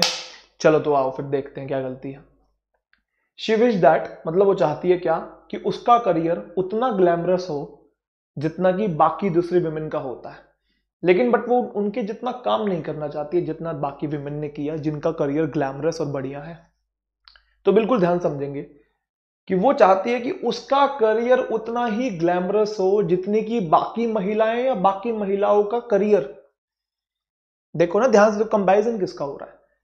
कि वो चाहती है कि उसका करियर जो भी लड़की चाहती है, जो भी कोई एक्स वाई जेड मान लो, कोई भी लड़की सोनाली है फॉर एग्ज़ाम्पल कुछ भी ले लो, सीता गीता कुछ जोड़ लो तो वो चाहती है कि उसका करियर उतना ही ग्लैमरस हो, जितना कि बाकी विमेन या बाकी विमेन का करियर ऑफ़ कोर्स करियर का कंपैरिजन अपने का करियर का, बाकी विमेन के करियर से ही तो करेंगे ना।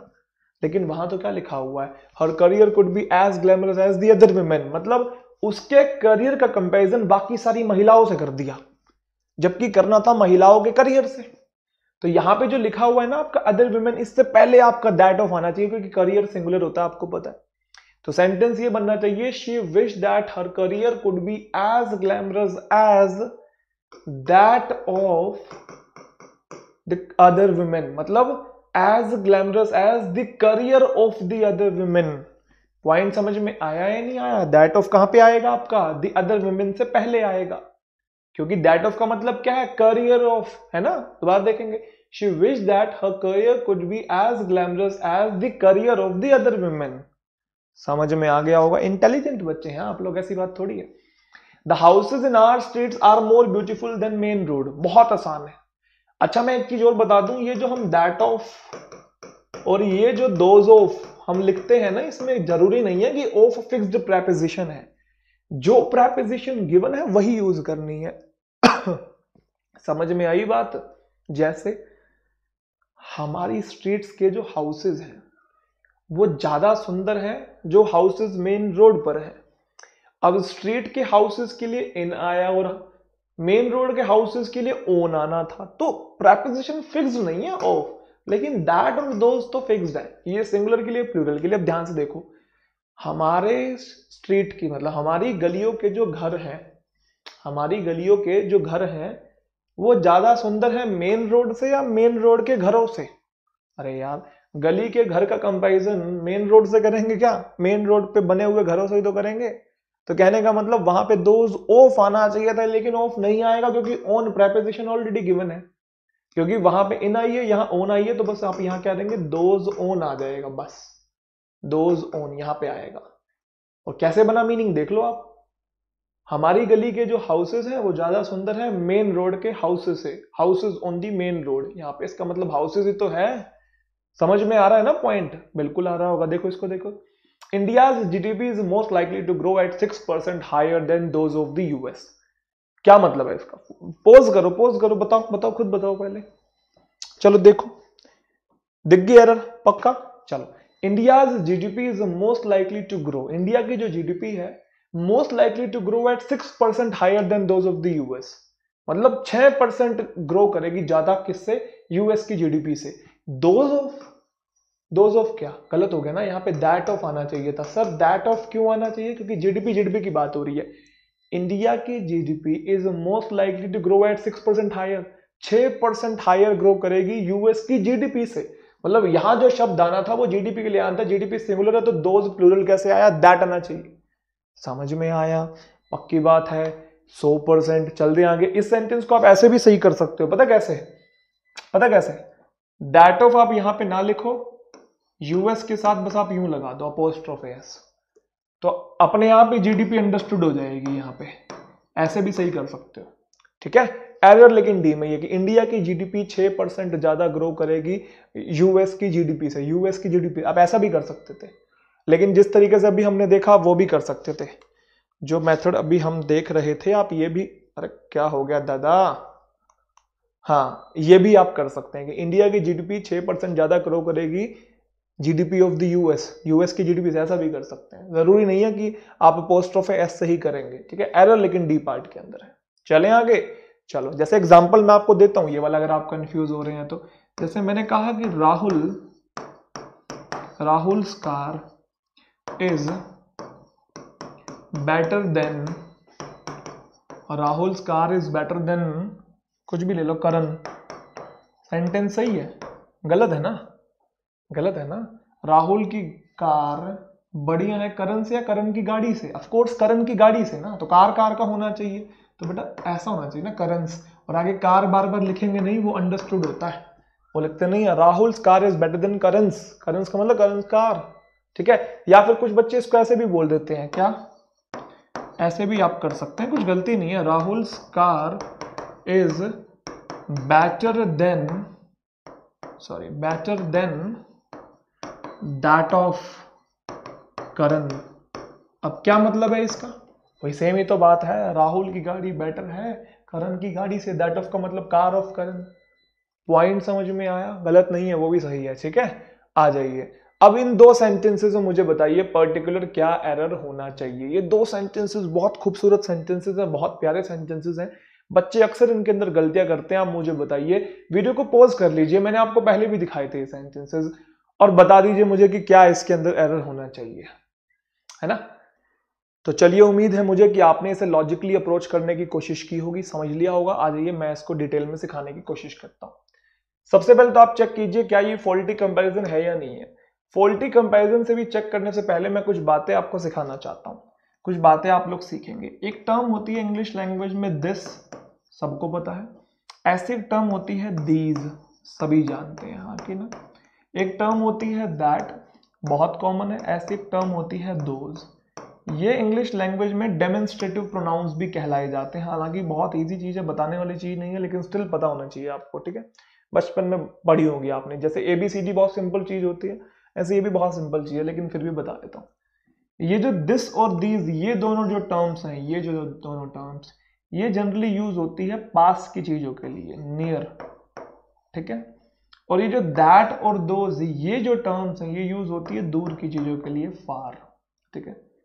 पास में अगर कोई चीज़ सिंगुलर है तो हम यूज़ करते हैं दिस दूर में कोई चीज़ सिंगुलर है तो हम यूज़ करते हैं दैट पास में कोई चीज़ प्लूरल है तो यूज़ करते हैं दीज दूर में कोई चीज़ प्लूरल है तो हम यूज़ करते हैं दोज बहुत सिंपल सी चीज़ है। जैसे एग्ज़ाम्पल के तौर पे, ये मार्कर मेरे हाथ में है। क्या ये मुझसे पास है या मुझसे दूर है? मुझसे पास है। सिंगुलर है या प्लूरल है? सिंगुलर है।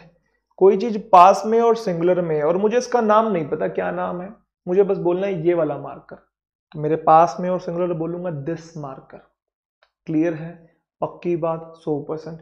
अब मेरे हाथ में एक और मार्कर है, ठीक है? ये दो मार्कर मैंने यहाँ पे ले लिए। ये दो मार्कर्स हैं सिंगुलर है या प्लूरल है? प्लूरल है। मुझसे दूर है या मुझसे पास है?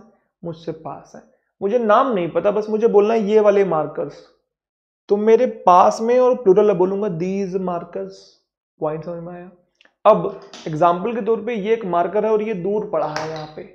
मुझे नाम नहीं पता, मुझे पॉइंट आउट करना है, उसको डेमोन्स्ट्रेट करना है, वो वाला मार्कर दूर है, और सिंगुलर क्या बोलूँगा? दैट मार्कर दो मार्कर्स वहाँ पे पड़े हैं, दो बड़े हैं वहाँ पे। नाम नहीं पता, मुझे बोलना है वो वाले मार्कर्स तो क्या बोलूँगा? दोज मार्कर्स तो उम्मीद करता हूँ ये पॉइंट तो आपको समझ में आ गया होगा, बहुत इजी चीज़ थी। आओ क्वेश्चन के ऊपर एक बार। इसके सेल बोल गए लगता है मुझे, कोई नहीं। आओ क्वेश्चन के ऊपर आओ। उसने बोला the price of this book is as much as that book यहाँ पे एक्चुअल में दिस बुक और दैट बुक उसी तरीके से यूज़ हुआ जिस तरीके से अभी मैंने मार्कर्स को यूज़ किया। नाम नहीं पता था कि कौन सी किताब, हो सकता है ये केमिस्ट्री की हो, वो फिजिक्स की हो। तो नाम नहीं पता तो बस ये बोल दिया कि जो ये वाली बुक है और वो वाली बुक है दिस बुक और दैट बुक ये पास में पड़ी किताब और ये दूर में पड़ी किताब दिस बुक और दैट बुक तो बोल रहा है कि ये दिस बुक मतलब जो पास में पड़ी किताब है, उसका जो प्राइस उतना ही है जितना कि वो वाली किताब या वो वाली किताब का प्राइस दैट बुक का मतलब वो दूर पड़ी किताब। दिस बुक का मतलब पास पड़ी किताब। जो पास में पड़ी किताब है, उसका जो प्राइस है, उतना ही है जितना कि दूर पड़ी किताब या दूर पड़ी किताब का प्राइस अरे कंपैरिजन तो प्राइस का हो रहा है ना। समझ में आई? जैसे ये किताब ये किताब। इस बुक और इस बुक ये एक ही वर्ड है, एक वर्ड है। इस बुक का प्राइस उतना ही है जितना कि वो बुक है वो वाली बुक का प्राइस वो वाली बुक का प्राइस कहने का मतलब सेंटेंस यू होना चाहिए था।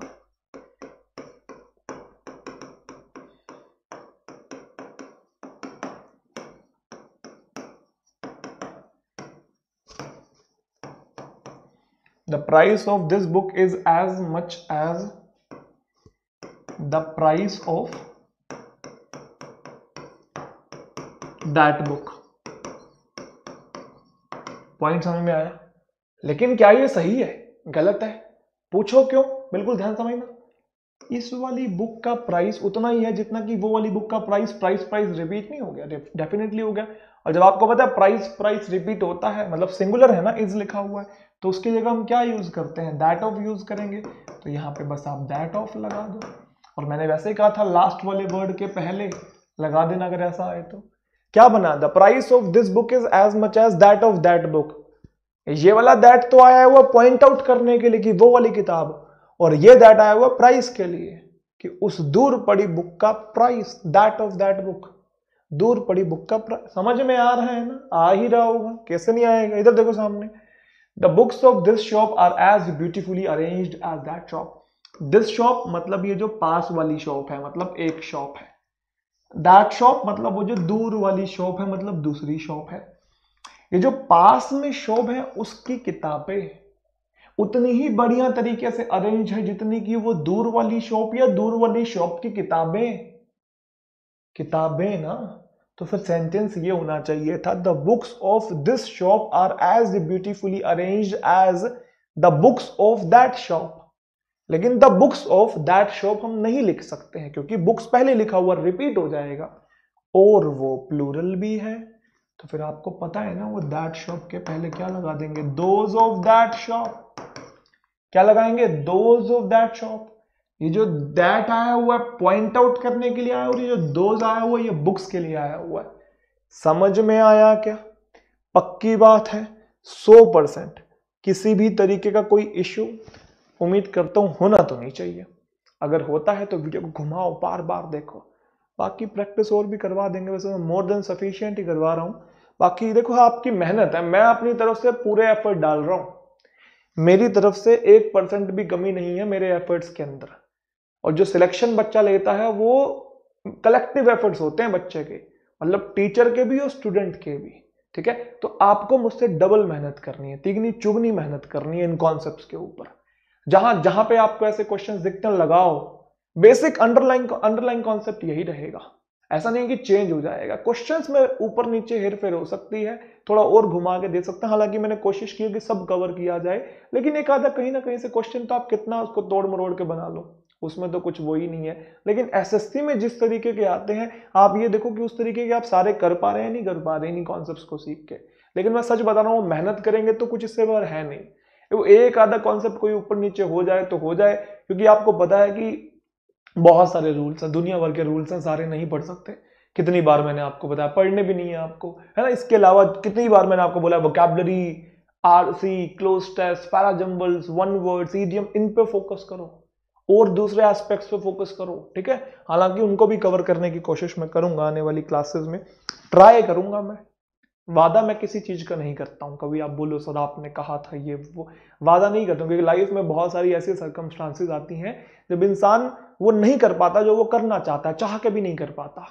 और सामने वाला फिर बोल दे हाँ तू तो ये कह रहा था, तू तो वो कह रहा था, इसलिए मैं कभी किसी चीज़ का वादा नहीं करता हूँ। मैं ये कहूँगा कि मैं ट्राई करूँगा, मैं कोशिश करूँगा। क्योंकि किसी महान पुरुष ने कहा है कि वादे अक्सर टूट जाते हैं और कोशिशें अक्सर कामयाब हो जाती हैं। तो मैं कोशिश करूँगा। ठीक है जी? और आप भी क्या करेंगे? सिलेक्शन लेने की, नौकरी पाने की, अंग्रेज़ी सीखने की कोशिश करेंगे? यूँ नहीं कि मैं करके ही रहूँगा, ऐसे कैसे नहीं होगा? चाँद तारे कर दूँगा, है ना? धरती ला दूँगा, आसमान फाड़ दूँगा, यूँ नहीं। कोशिश करूँगा ट्राई करूँगा, अपना बेस्ट दूँगा। जितना मैं कर सकता हूँ, जितने में से जान लग सकती है, उतनी जान मैं लगाऊँगा। दिन रात करूँगा, एक अपने बेस्ट एफर्ट दूँगा, उसके बाद रिज़ल्ट मिलता है तो ठीक है, नहीं मिलता तो ठीक है। नहीं मिलता तो मैं दोबारा मेहनत करूँगा, लेकिन मैं कोशिश करूँगा। हारूँगा नहीं, ठीक है? कोशिश बहुत ज़रूरी है। वो कोशिश बरकरार रहनी चाहिए आपकी, ठीक है? चलो। अगली कैटेगरी तरफ़ मूव ऑन करने की कोशिश करते हैं। बिल्कुल पिद्दू सी, इतनी सी, निन्नू सी कैटेगरी है, उसको खत्म कर लेते हैं एक बार, ठीक है? बिल्कुल ऐसा, इतनी सी, ठीक है? आ जाओ, क्या है Rahul is taller than handsome Rahul is taller than handsome क्या मतलब है इसका? राहुल इज़ राहुल हैंडसम से ज़्यादा टॉल है, यही मतलब है? हाँ जी, यही मतलब है। लेकिन सवाल क्या है? सवाल ये है कि आपको याद होगा जब मैंने आपको फॉर्मेशन सिखाया था। याद है फॉर्मेशन किसका? पॉजिटिव से कंपैरेटिव का कंपैरेटिव से सुपरलेटिव का तो कुछ वन सिलेबल और मोर देन वन सिलेबल सिखाया था। और मैंने कहा था, जो वन सिलेबल होता है, उसका जो कंपैरिजन होता है मतलब कंपैरेटिव डिग्री जो बनता है, वो कैसे बनता है? कुछ याद आ रहा हो तो आपको? कैसे बनता है? ई e आर और ई एस टी लगा के, और जो मोर देन वन सिलेबल होता है, उसका बनता है मोर और मोस्ट लगा के। कुछ याद आ रहा है? डेफिनेटली आपको याद आ रहा होगा। अब मुझे आप ये बताएँगे, जो टोल शब्द है, टोल, ये कैसा शब्द है? टोल वन सिलेबल या more than one syllable more one syllable या more than one tall tall tall tallest ये है वन सिलेबल मोर देन नहीं है. मोर देन नहीं है ना? इसका कंपैरेटिव डिग्री यही बनना चाहिए ना? हाँ कि ना टॉल टोलर टोलेस्ट ही होता है ना? लेकिन ये गलत है. यहाँ पे मोर टोल आएगा. अब आप बोलोगे, हैं सर, ये कैसे? तो मैंने कहा था ना एक्सेप्शन भी आएँगे, आगे चल के बताएँगे. चलो जी नोट करेंगे सभी स्टूडेंट सब इसको, आ जाओ, क्या है ये? इस कॉन्सेप्ट का नाम है two qualities of the same person किसी एक पर्सन की जब दो क्वालिटीज की हम बात करते हैं, तब एक स्ट्रक्चर यूज़ होता है। किसी एक ही इंसान की दो क्वालिटीज को जब हम कंपेयर करते हैं, एक ही इंसान की। अभी तक हम कर रहे थे अलग अलग चीज़ों का। ये वाला इंसान इस वाले इंसान से बेहतर है, ये इससे स्ट्रांगर है, ये इससे बुरा है। लेकिन अब एक ही इंसान की दो क्वालिटीज को। तो जब एक ही इंसान की दो क्वालिटीज को कंपेयर करते हैं तो ध्यान रखिएगा चाहे यहाँ पे उसका कंपैरेटिव डिग्री ई आर लगा के ही क्यों ना बनता हो। लेकिन आप पहले मोर लिखेंगे और उसके बाद पॉजिटिव डिग्री लिखेंगे। ऐसे बनता है। Rahul is more tall than handsome चाहे उसका कंपैरिजन कैसे भी बने, आपने पहले मोर लिखना है, फिर पॉजिटिव डिग्री फिर देन और फिर पॉजिटिव डिग्री एग्ज़ाम्पल के तौर पे आपके सामने एक sentence Karan is smarter than brave Karan is smarter than brave तो आपको इंसान तो एक ही है, लेकिन क्वालिटीज दो हैं।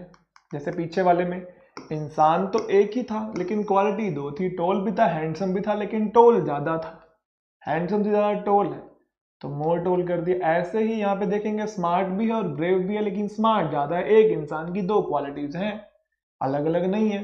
तो स्मार्ट का स्मार्टर ही बनता है। लेकिन एक ही इंसान की दो क्वालिटीज होने से आपको पता है, हमें मोर स्मार्ट लिखना पड़ेगा। More plus positive degree than plus positive degree. समझ में आया? इसको देखो। एक कन्या है सोनाली। वो वाइज भी है, बुद्धिमान भी है और ब्यूटीफुल भी है। लेकिन मैंने कहा, जो उसकी सुंदरता है ना, वो थोड़ी फीकी है, उसकी बुद्धिमानी के आगे। वो इंटेलिजेंट बहुत है इंटेलेक्चुअल बहुत है। तो इंसान एक है क्वालिटीज दो है। तो वाइज का वैसे तो वाइजर ही बनता है वाइज वाइजर वाइजेस्ट लेकिन जब एक ही इंसान की दो क्वालिटीज कंपेयर करते हैं, जैसे कैसे भी बने इसका। लेकिन आपने पहले मोर और फिर उसी की कंपेरेटिव डिग्री फिर देन और फिर आपकी पॉजिटिव डिग्री सॉरी मोर उसकी पॉजिटिव डिग्री फिर देन और फिर पॉजिटिव डिग्री समझ में आया? पक्की बात है, सौ परसेंट। कुछ बच्चे पूछ लेते सर, अगर यहाँ पे ऐसा लिखा हो तो? अगर यहाँ पे ऐसा लिखा हो तो सोनाली इज़ मोर ब्यूटिफुल ठीक है? देन वाइज अगर सर वो ब्यूटीफुल ज़्यादा है वाइज से तो तो क्या दिक्कत है? क्या दिक्कत है? बताओ मुझे। बताओ मुझे। कोई दिक्कत है यहाँ पे? अब क्या कर सकते हैं हम यहाँ पे? इसमें कुछ मिस्टेक मुझे बताओ। कोई मिस्टेक नहीं है। कारण क्या? कारण ये है बेटा, एक ही इंसान की दो क्वालिटीज आ गई। और अब हम ये मान लेंगे कि पहले मोर आया और अब ये पॉजिटिव डिग्री है। और आगे देन और फिर से पॉजिटिव डिग्री मतलब सही है। क्योंकि आपको तो पता ना, इसमें तो मोर लगता ही है, लेकिन इनमें नहीं लगता है। दिक्कत यहाँ आती है, जब वन से लेवल पहले आ जाए तो। समझ में आया? पक्की बात है। चल दें आगे। चलिए, उम्मीद करता हूँ ये सारे कॉन्सेप्ट आपके क्लियर हो गए होंगे। चलिए तो चलिए अपनी अगली कैटेगरी की तरफ़ मूव ऑन करते हैं। हमारी जो अगली कैटेगरी है, उसका नाम है two structures of comparative degree और ये बहुत ही क्रूशियल कैटेगरी है। इसके दो दो स्ट्रक्चर्स होते हैं कंपैरेटिव डिग्री के। बच्चों को जनरली नहीं पता होते। जो स्टूडेंट्स होते हैं, वो जनरली एक ही स्ट्रक्चर जानते होते हैं कंपैरेटिव डिग्री का, जिसमें उसके बाद देना आता है। हाँ कि ना? लेकिन एक्चुअल में कंपैरेटिव डिग्री के दो दो स्ट्रक्चर्स होते हैं तो दोनों को डील करेंगे और दोनों से एरर्स कैसे बनते हैं, उनको डिटेल में थोड़ा प्रोफाउंडली समझने की कोशिश करेंगे। ठीक है बेटा? चलो तो बात करते हैं सबसे पहले क्वेश्चन की। आपकी स्क्रीन के ऊपर एक क्वेश्चन है और वो क्वेश्चन है कि of the two film in which he starred I think the former one is the best ठीक है? Of the two film in which he starred I think the form of one is the best तो इस sentence को आप आप लोग एक बार अच्छे से देख लीजिए और क्या ग्रामेटिकल मिस्टेक है आप को, सोचने की कोशिश कीजिए और अभी हम इसे लॉजिकली अप्रोच करते हैं, ठीक है? आ जाओ। तो सबसे पहले बात करते हैं हम अपने फ़र्स्ट स्ट्रक्चर के बारे में। ये वाला जो स्ट्रक्चर है, मैं आपको पहले पढ़ा चुका हूँ और आपने पढ़ा भी होगा कि पहले सब्जेक्ट लिखते हैं, फिर वर्ब लिखते हैं और वर्ब के बाद कंपैरेटिव डिग्री और कंपैरेटिव डिग्री के बाद देना आता है। याद करो, बताया था। कि 90 percent of the time comparative degree के बाद देना आता है। येस और नो आप लोग बहुत अच्छे से जानते हैं, ठीक है?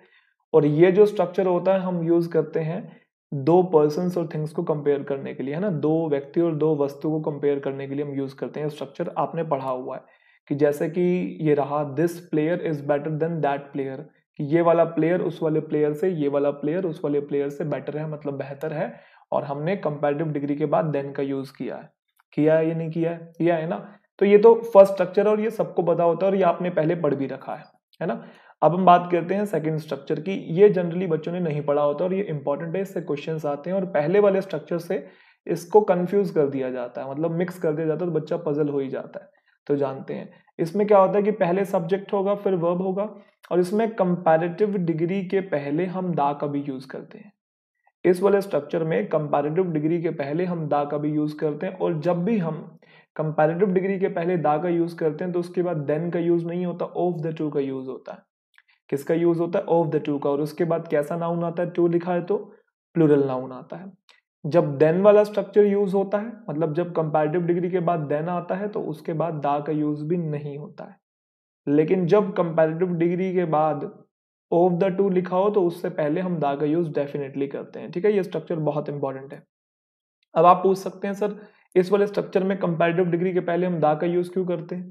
क्योंकि बेसिकली तो हम दा का यूज़ तो सुपरलेटिव डिग्री के लिए करते हैं ना? The most beautiful the greatest the tallest yes और नो लेकिन कंपेरेटिव डिग्री के पहले भी दा आता है, अगर उसके आगे ऑफ़ द टू हो, ऐसा क्यों? उस बात को भी समझेंगे, लेकिन पहले इतनी बात जान लीजिए कि ये स्ट्रक्चर भी दो के लिए ही यूज़ होगा। है तो कंपेरेटिव डिग्री ना? तो दो पर्सन और दो थिंग्स के लिए ही आता है। लेकिन ये वाला स्ट्रक्चर उस वाले स्ट्रक्चर से कैसे डिफरेंट है? ये बस एक सिंपल सा तरीका आपको बताता है। ये वाला जो स्ट्रक्चर होता है, ये कहना चाहता है कि जब भी हमें दो में से किसी एक को सिलेक्ट करना हो, जब भी हमें दो में से किसी एक को चूज़ करना हो, तब हम ये वाला स्ट्रक्चर यूज़ करेंगे। लेकिन पहले वाला स्ट्रक्चर हम तब यूज़ यूज़ करते थे जब किसी एक चीज़ को दूसरी चीज़ से कंपेयर करना होता था। लेकिन इस वाले स्ट्रक्चर का यूज़ हम तब करते हैं जब सिलेक्शन की बात करनी होती है। This structure is use for selection और to choose one out of two जब दो में से किसी एक को चूज़ करते हैं, तब हम इस वाले स्ट्रक्चर का यूज़ करते हैं। एग्ज़ाम्पल के तौर पे this player is the better of the two players ये वाला प्लेयर बेहतर है दो प्लेयर्स में से, दो प्लेयर्स में से ये वाला बेटर है। आप ध्यान से देखिए, पहले वाला क्या था कि ये वाला प्लेयर इस वाले प्लेयर से बेटर है। लेकिन इसमें क्या कह रहा हूँ कि दो प्लेयर्स हैं, दो में से ये वाला बेटर है। तो क्या मैं यहाँ पे दो में से किसी एक को चूज़ नहीं कर रहा हूँ? कर तो दो में से ही रहा, आएगा तो कंपेरेटिव डिग्री वाला स्ट्रक्चर लेकिन ऑफ़ द टू वाला। आप लोग नोट कीजिए कि पहले सब्जेक्ट फिर वर्ब कंपेरेटिव डिग्री उसके पहले दा लिखा हुआ है, और आगे देखो देन भी नहीं है ऑफ़ द टू है प्लूरल नाउन है। और दूसरी बात, इसमें दा इसलिए आता है कि जबकि हम दो में से किसी एक को चूज़ कर रहे हैं तो उस केस में उसको हम डेफिनेट कर रहे हैं ना कि दो में से ये वाला बेटर है स्पेसिफाई कर। तो डेफिनेट आर्टिकल का यूज़ होता है ना, दा हमारा डेफिनेट आर्टिकल ही होता है। ए एन इनडेफिनेट आर्टिकल होता है दा डेफिनेट आर्टिकल होता है। तो दो में से जब किसी एक को चूज़ करते हैं ना तो उसे स्पेसिफाई भी कर रहे हैं, इसलिए वहाँ पे दा आया हुआ है। सर एरर कैसे बनेंगे? एरर बहुत आसान है। जिस स्ट्रक्चर में दा आता है, उस स्ट्रक्चर से दा हटा देंगे, जिस स्ट्रक्चर में दा नहीं आता, उस स्ट्रक्चर में दा लगा देंगे। बस आपको इतनी सी चीज़ ध्यान रखनी है। एक काम करता हूँ सिंपल सेंटेंस देखते हैं। उसने बोला of Delhi and Mumbai which is coolest बात बहुत सिंपल है। चीज़ें कितनी है? दो वन और टू गिवन नहीं है, लिखा नहीं हुआ है कि दो, बस चीज़ें दे दी तो आप काउंट तो कर ही सकते हैं। टू थ्री वो लिख के नहीं देगा कभी कभी लिख के भी दे सकता है, लेकिन ज़रूरी नहीं है कि वो लिख के भी दे। अब आपके सामने दो चीज़ें हैं, दिल्ली और मुंबई तो आपको पता है कंपेरेटिव डिग्री तो आना है, क्योंकि दोनों की बात हो रही है, दोनों में से कौन सा कूल है? तो कंपेरेटिव डिग्री तो आता है, लेकिन कंपेरेटिव डिग्री के दो स्ट्रक्चर है। एक देन वाला और एक ऑफ़ द टू वाला। क्या देन वाला स्ट्रक्चर यहाँ पे फॉलो होगा? नहीं, क्योंकि एक चीज़ को दूसरी चीज़ से कंपेयर नहीं करना है, दो चीज़ें गिवन है, दो में से किसी एक को चूज़ करना है। यस और नो और ऑफ़ भी आपको दिखाई दे रहा है। उसके आगे ऑफ़ द टू ना लिख के बस दो चीज़ें गिवन दे दी। हाँ कि ना? समझ में आ रहा है? तो ऑफ़ द टू वाला स्ट्रक्चर है। तो पहली बात तो कूलेस्ट नहीं होगा क्योंकि कंपेरेटिव डिग्री आएगी, दो की बात हो रही है कूलर होना चाहिए। और उसके पहले हम दा का यूज़ भी करेंगे क्योंकि आपको पता है कि जब दो में से किसी एक को चूज़ करते हैं तो उस केस के अंदर हम कंपेरेटिव डिग्री के पहले दा भी लगाते हैं, बोलो हाँ। लगाते हैं या नहीं लगाते हैं? समझ में आया पॉइंट अच्छे से, एक और ट्राई करते हैं। तो of Delhi and Mumbai which is the cooler ना कि कूलेस्ट ठीक है? और देखते हैं। अब वही वाला सेंटेंस आगे जो मैंने आपको पहले दिखाया था of the two film in which he I think the former one is the best अब कितने फ़िल्म हैं? दो हैं। ठीक है? कंपैरेटिव डिग्री तो आएगा, लेकिन देन वाला स्ट्रक्चर नहीं आएगा। ऑफ़ द टू वाला है ना? तो ऑफ़ द टू वाला है तो पहली बात तो बेस्ट नहीं होगा बेटर होगा यस और नो बेस्ट नहीं होगा बेटर होगा। दूसरी बात क्या, दा आएगा? हाँ जी डेफिनेटली आएगा, सही हो गया। Of the two films in which he starred I think जो पहले वाली थी, वो बेटर थी। कि ना तो द बेटर होना चाहिए, ठीक है? चले, आगे चलते जैसे इसमें बताइए आप एक बार। कि Sapna is the better than Tina. ये गलत हो गया, क्योंकि ये सिंपल स्ट्रक्चर है। जब किसी एक चीज़ का दूसरी चीज़ से कंपैरिजन करते हैं, तब हम कंपैरेटिव डिग्री का बेसिक स्ट्रक्चर यूज़ करते हैं। और जब भी हम कंपैरेटिव डिग्री का बेसिक स्ट्रक्चर यूज़ करते हैं, उसमें देन आता है, लेकिन उससे पहले बेटा दा नहीं आता है। तो Sapna is better than Tina as simple as that I hope my point got clear I hope my point got clear चलें तो उम्मीद करता हूँ ये छोटी सी जो टाइप थी, जिसमें दो स्ट्रक्चर से कंपैरेटिव डिग्री वाले आपको समझ में आ गए होंगे इसी के साथ आगे बढ़ते हैं नेक्स्ट कैटेगरी की तरफ़। और जो नेक्स्ट कैटेगरी है, उसमें बहुत सारे पॉइंट्स और उसका एक बेसिक नाम दिया हुआ है correct usage of some adjectives तो कुछ छोटे छोटे एडजेक्टिव्स हैं जिनका यूसेज बच्चों को नहीं पता होता है, उन्हें एक बार लॉजिकली अप्रोच करने की कोशिश करते हैं। यस और नो चलिए तो उनको पढ़ने से पहले क्या मैं कुछ सवाल पूछ लूँ? आपसे पूछ ही लेता हूँ। अच्छा मैं ये उम्मीद कर रहा हूँ कि जो मेरी वीडियो है ना, ये पीछे कंटेंट छुप नहीं रहा होगा। अगर छुप छुप भी रहा है तो मैं साथ साथ बोल रहा हूँ। क्योंकि अभी डिजिटल बोर्ड पे क्लास हो गई थी, अब इस पे आ गए हैं, है ना? अब आप लोग भी सोचते होंगे, सर, कभी कोई क्लास आप डिजिटल बोर्ड पे लेते हो? कभी आप यूँ बैठ के ऑबियस के थ्रू लेते हो? ऐसा क्यों होता है? है ना? इसके पीछे भी वैसे रीज़न है, इसके पीछे भी लॉजिक है। फिर किसी दिन बताएँगे कि ऐसा क्यों होता है कि कुछ क्लासेस वहाँ होती हैं, कुछ बैठ के होती हैं। ऐसा कोई शौक नहीं है मुझे? या मैं थक नहीं जाता हूँ कि कुछ क्लासेस में खड़े होकर ले रहा हूँ मैं थक गया हूँ, तब मैं बैठ के पढ़ाऊँगा? नहीं, इसके पीछे कुछ कारण है, कुछ रीज़न है। और कुछ दिन बाद बताऊँगा रीज़न वो, ठीक है? अभी मैं चाह के भी वो नहीं बता सकता हूँ आपको, लेकिन कुछ दिन बाद आपके साथ डेफिनेटली शेयर करूँगा, निश्चिंत रहिएगा, ठीक है? चलिए। तो शी हैज़ परफॉर्म्ड अब आप भी सोच रहे सर, ऐसा क्या क्या हो गया? कोई कौन सा यहाँ सी का केस चल रहा है? बता दो, ऐसी क्या बात है ये? कोई बात नहीं, बताएँगे, बाद में बताएँगे, ठीक है? कुछ होगा तभी तो नहीं बता रहा हूँ। आ जाओ, चलो। तो she has performed very good in the board examination she has performed very good in the board examination ठीक है? तो इस सेंटेंस के अंदर बेसिकली आपको कोई मिस्टेक दिखाई दे रही है? अगर कोई मिस्टेक दिखाई दे रही है तो ढूंढो। बताओ, क्या हो सकती है मिस्टेक सुनने में, पढ़ने में, देखने में, जचने में मज़ा आता है इस सेंटेंस को, सही लग रहा है। लेकिन गलती है। सर, क्या गलती है? तो इसी बात को समझने के लिए आपको समझना पड़ेगा difference between good and well तो क्या आप लोग जानते हैं गुड और वेल के बीच में क्या डिफरेंस है? अगर नहीं जानते हैं तो आ जाइए इनके बीच में डिफरेंस को सीखते हैं। अब शायद कंटेंट छुप रहा होगा। अगर अब कंटेंट छुप रहा है तो मैं भी छुप जाता हूँ, ठीक है जी? लीजिए, अपने आप को कर दिया मैंने हाइड अब बस मेरी आवाज़ आपके कानों में गूंज रही होगी और उम्मीद करता हूँ कि आपको क्लियरली सब कुछ सुनाई दे रहा होगा और कंटेंट सामने दिखाई दे रहा होगा। बोलो हाँ। चलें जी तो पहले बात करते हैं। गुड की, गुड का बेसिकली जो पार्ट्स ऑफ़ स्पीच होता है, वो एडजेक्टिव होता है। क्या होता है? एडजेक्टिव और ये जो गुड होता है बेसिकली क्या बताता है? क्वालिटी बताता है किसी पर्सन या किसी थिंग की मतलब किसी व्यक्ति या किसी वस्तु की क्वालिटी बताता है। हाँ जी बेटा, क्या बताता है? क्वालिटी बताता है, ठीक है? एग्ज़ाम्पल के तौर पे मैंने कहा शी इज़ अ प्लेयर तो क्या प्लेयर एक नाउन था? आपने कहा, जी सर मैंने फिर साइड में कहा कि she is a good player player अभी भी नाउन है, क्योंकि जो आर्टिकल है वो प्लेयर के लिए आया हुआ है। कैसा प्लेयर गुड प्लेयर तो ये एडजेक्टिव होगा हाँ कि ना? और क्या प्लेयर की क्वालिटी बता रहा है यस और नो डेफिनेटली बता रहा है। ऐसे ही सेकंड सेंटेंस की तरफ़ आप आएँगे तो उसने बोला कि she speaks English speaks verb है। स्पीक्स व्हाट इंग्लिश इंग्लिश किसी भाषा का नाम है तो नाउन है। ऑब्जेक्ट तो है ही, लेकिन नाउन भी है हाँ कि ना? फिर इधर आप आएँगे तो हमने कहा कि शी स्पीक्स गुड इंग्लिश ये वर्ब था। इंग्लिश नाउन था। कैसे इंग्लिश गुड इंग्लिश नाउन को जो मॉडिफाई करे, उसे हम क्या कहेंगे? एडजेक्टिव कहेंगे या नहीं कहेंगे? कहेंगे। तो गुड क्या कर रहा है? इंग्लिश की क्वालिटी बता रहा है। ऊपर गुड क्या कर रहा था? प्लेयर की क्या बता रहा था? क्वालिटी बता रहा था। तो जो गुड बेसिकली होता है, वो क्या बताता है? वो एडजेक्टिव तो होता है, लेकिन वो क्वालिटी बताता है। लेकिन वेल well के साथ सिनेरियो डिफरेंट है। जो वेल well हमारा होता है, वो इंग्लिश लैंग्वेज में दो काम करता है। कितने काम करता है? दो काम। एक तो वो काम करता है एडजेक्टिव बनना और एक वो काम करता है एडवर्ब बनना। बेसिकली वेल एडजेक्टिव भी होता है एडवर्ब भी होता है, दोनों का कॉन्टेक्ट समझ लीजिए।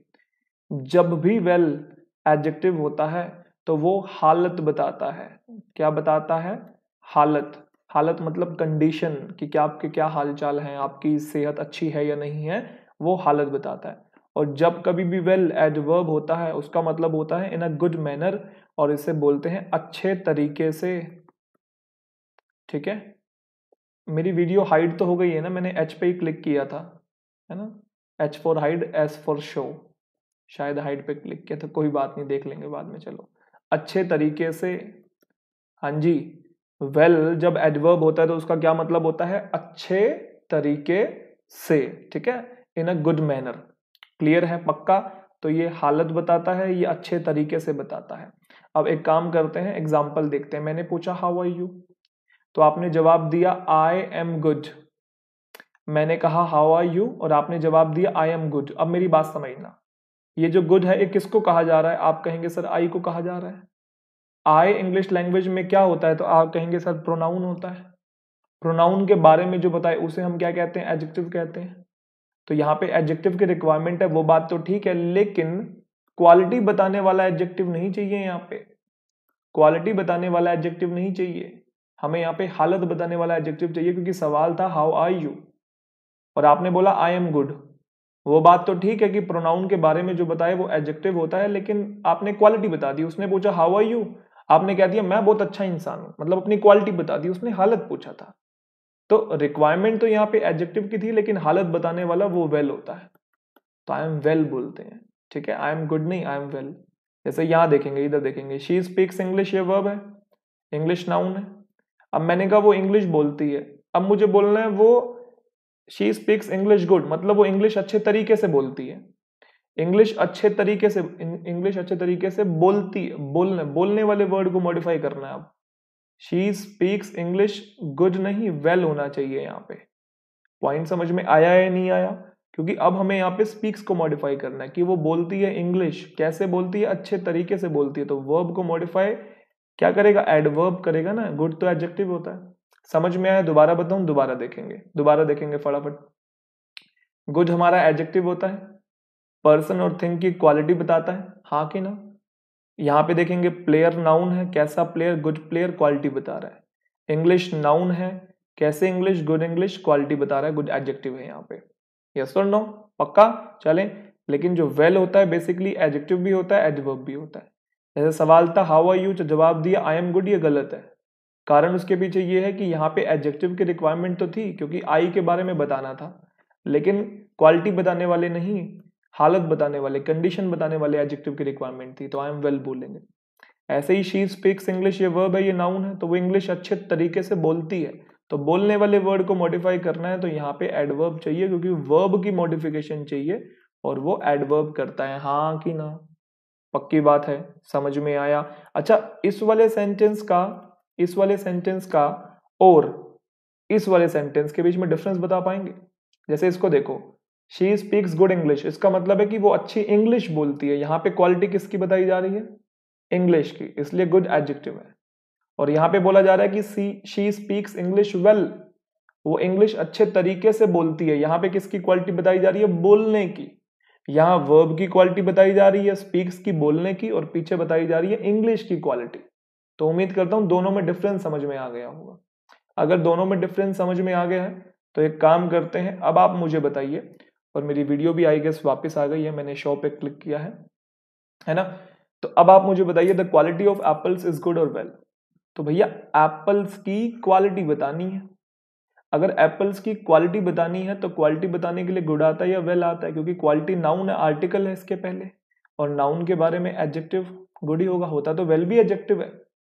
एक एक तरीके से देखा जाए तो वेल एडजेक्टिव एडवर्ब दोनों होता है ना, लेकिन यहाँ क्वालिटी बताने वाला एडजेक्टिव आएगा तो गुड चाहिए।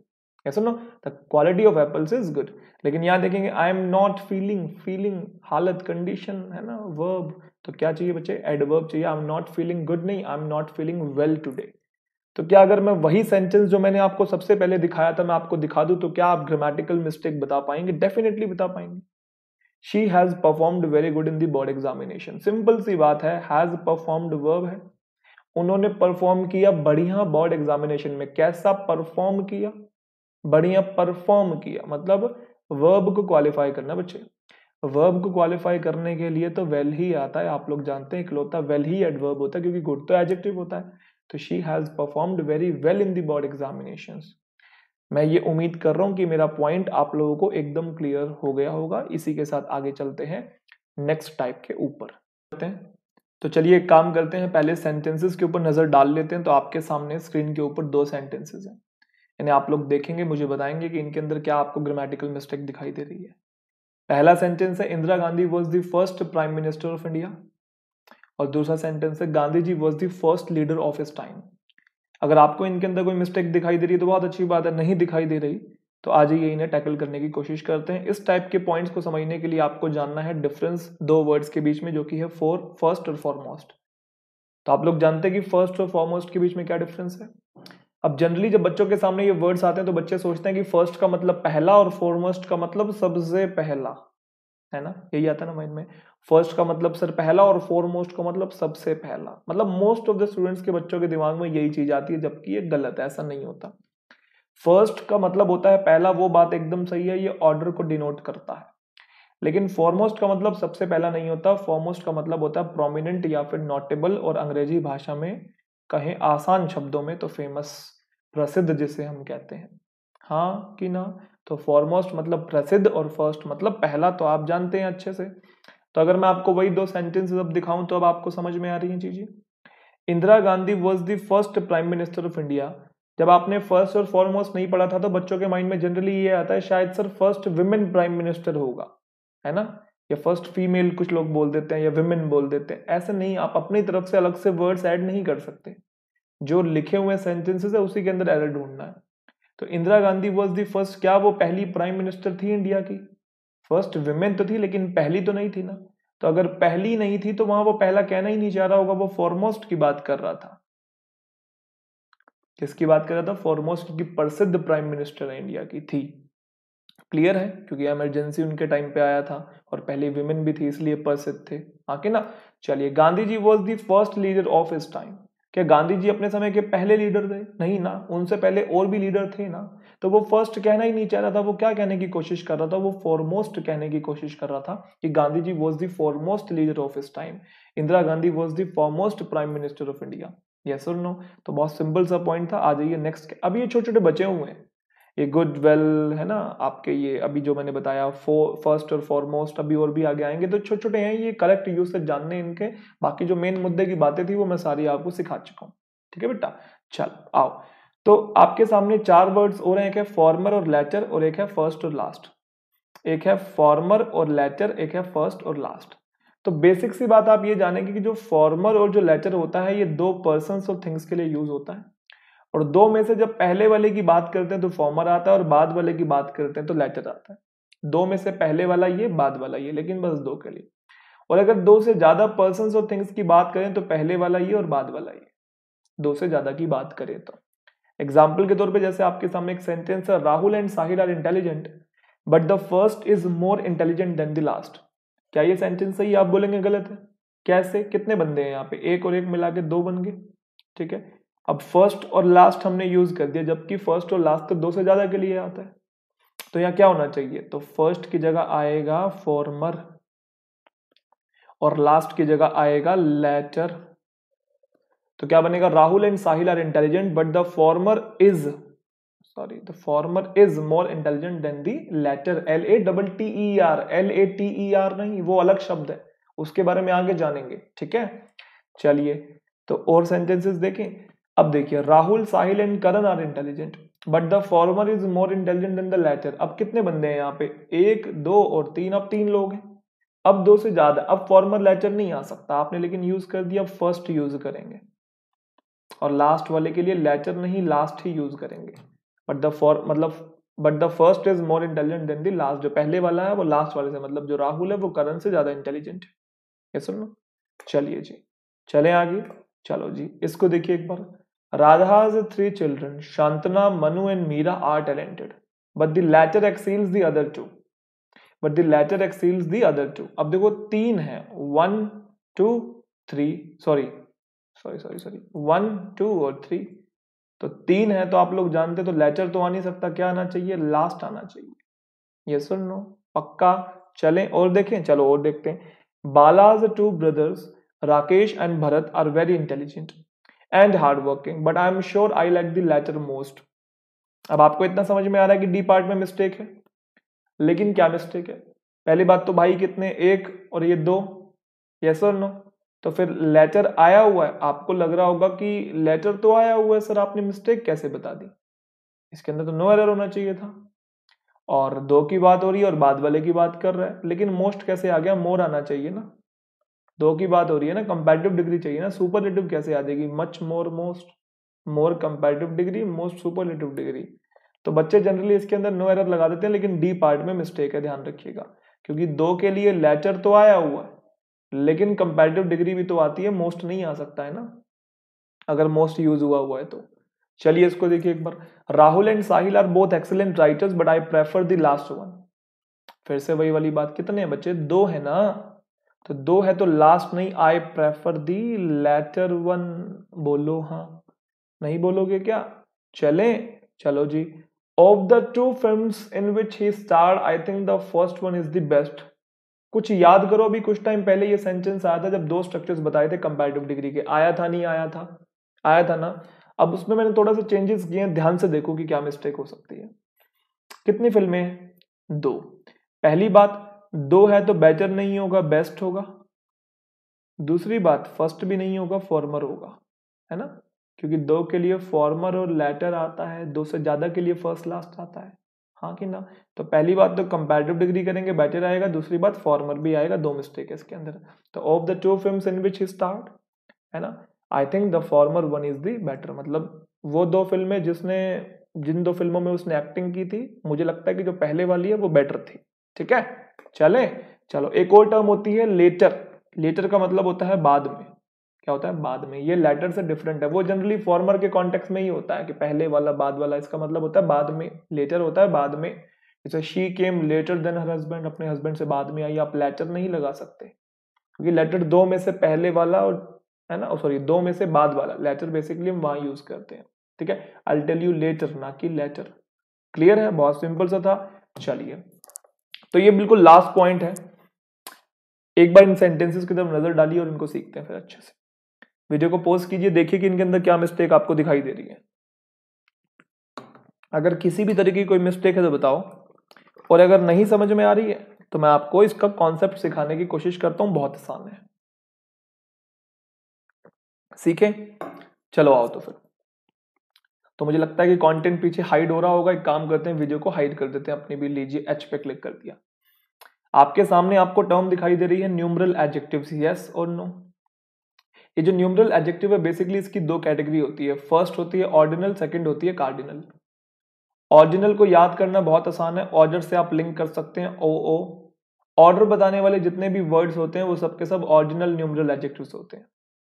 और एक होता है कार्डिनल कार्डिनल को आप लिंक कर सकते हैं। काउंटिंग से और जितने भी काउंटिंग बताने वाले शब्द होते हैं, वो कार्डिनल न्यूमरल एडजेक्टिव्स होते हैं।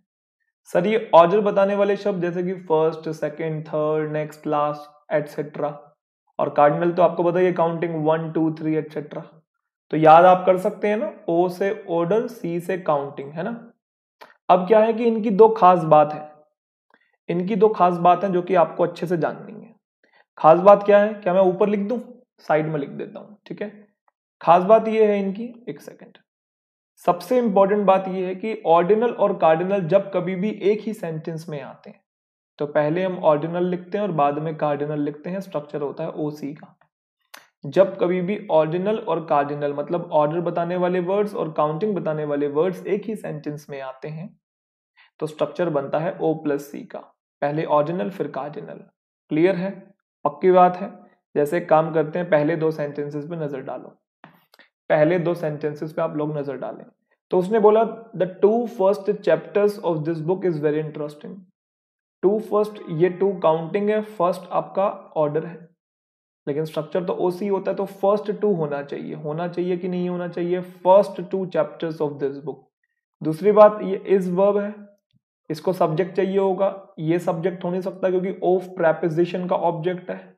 तो सब्जेक्ट यही बना ना फ़र्स्ट टू चैप्टर्स प्लूरल है तो आगे वर्ब भी तो प्लूरल आएगी हाँ की ना? ये सुन। लो ऐसे ही फाइव लास्ट नहीं होगा लास्ट फाइव होगा। पहले ऑर्डिनल फिर कार्डिनल और आगे फिर वर्ब भी प्लूरल आएगी। The last five coaches of this train are very dirty yes no लेकिन एक स्ट्रक्चर और है, जैसा कि मैंने कहा कि पहले ऑर्डिनल फिर कार्डिनल आता है। एक पॉइंट और है कि जब कभी भी ऑर्डिनल आपको दिखाई दे बच्चे ऑर्डिनल ऑर्डिनल अपने पहले हमेशा दा लेके आता है।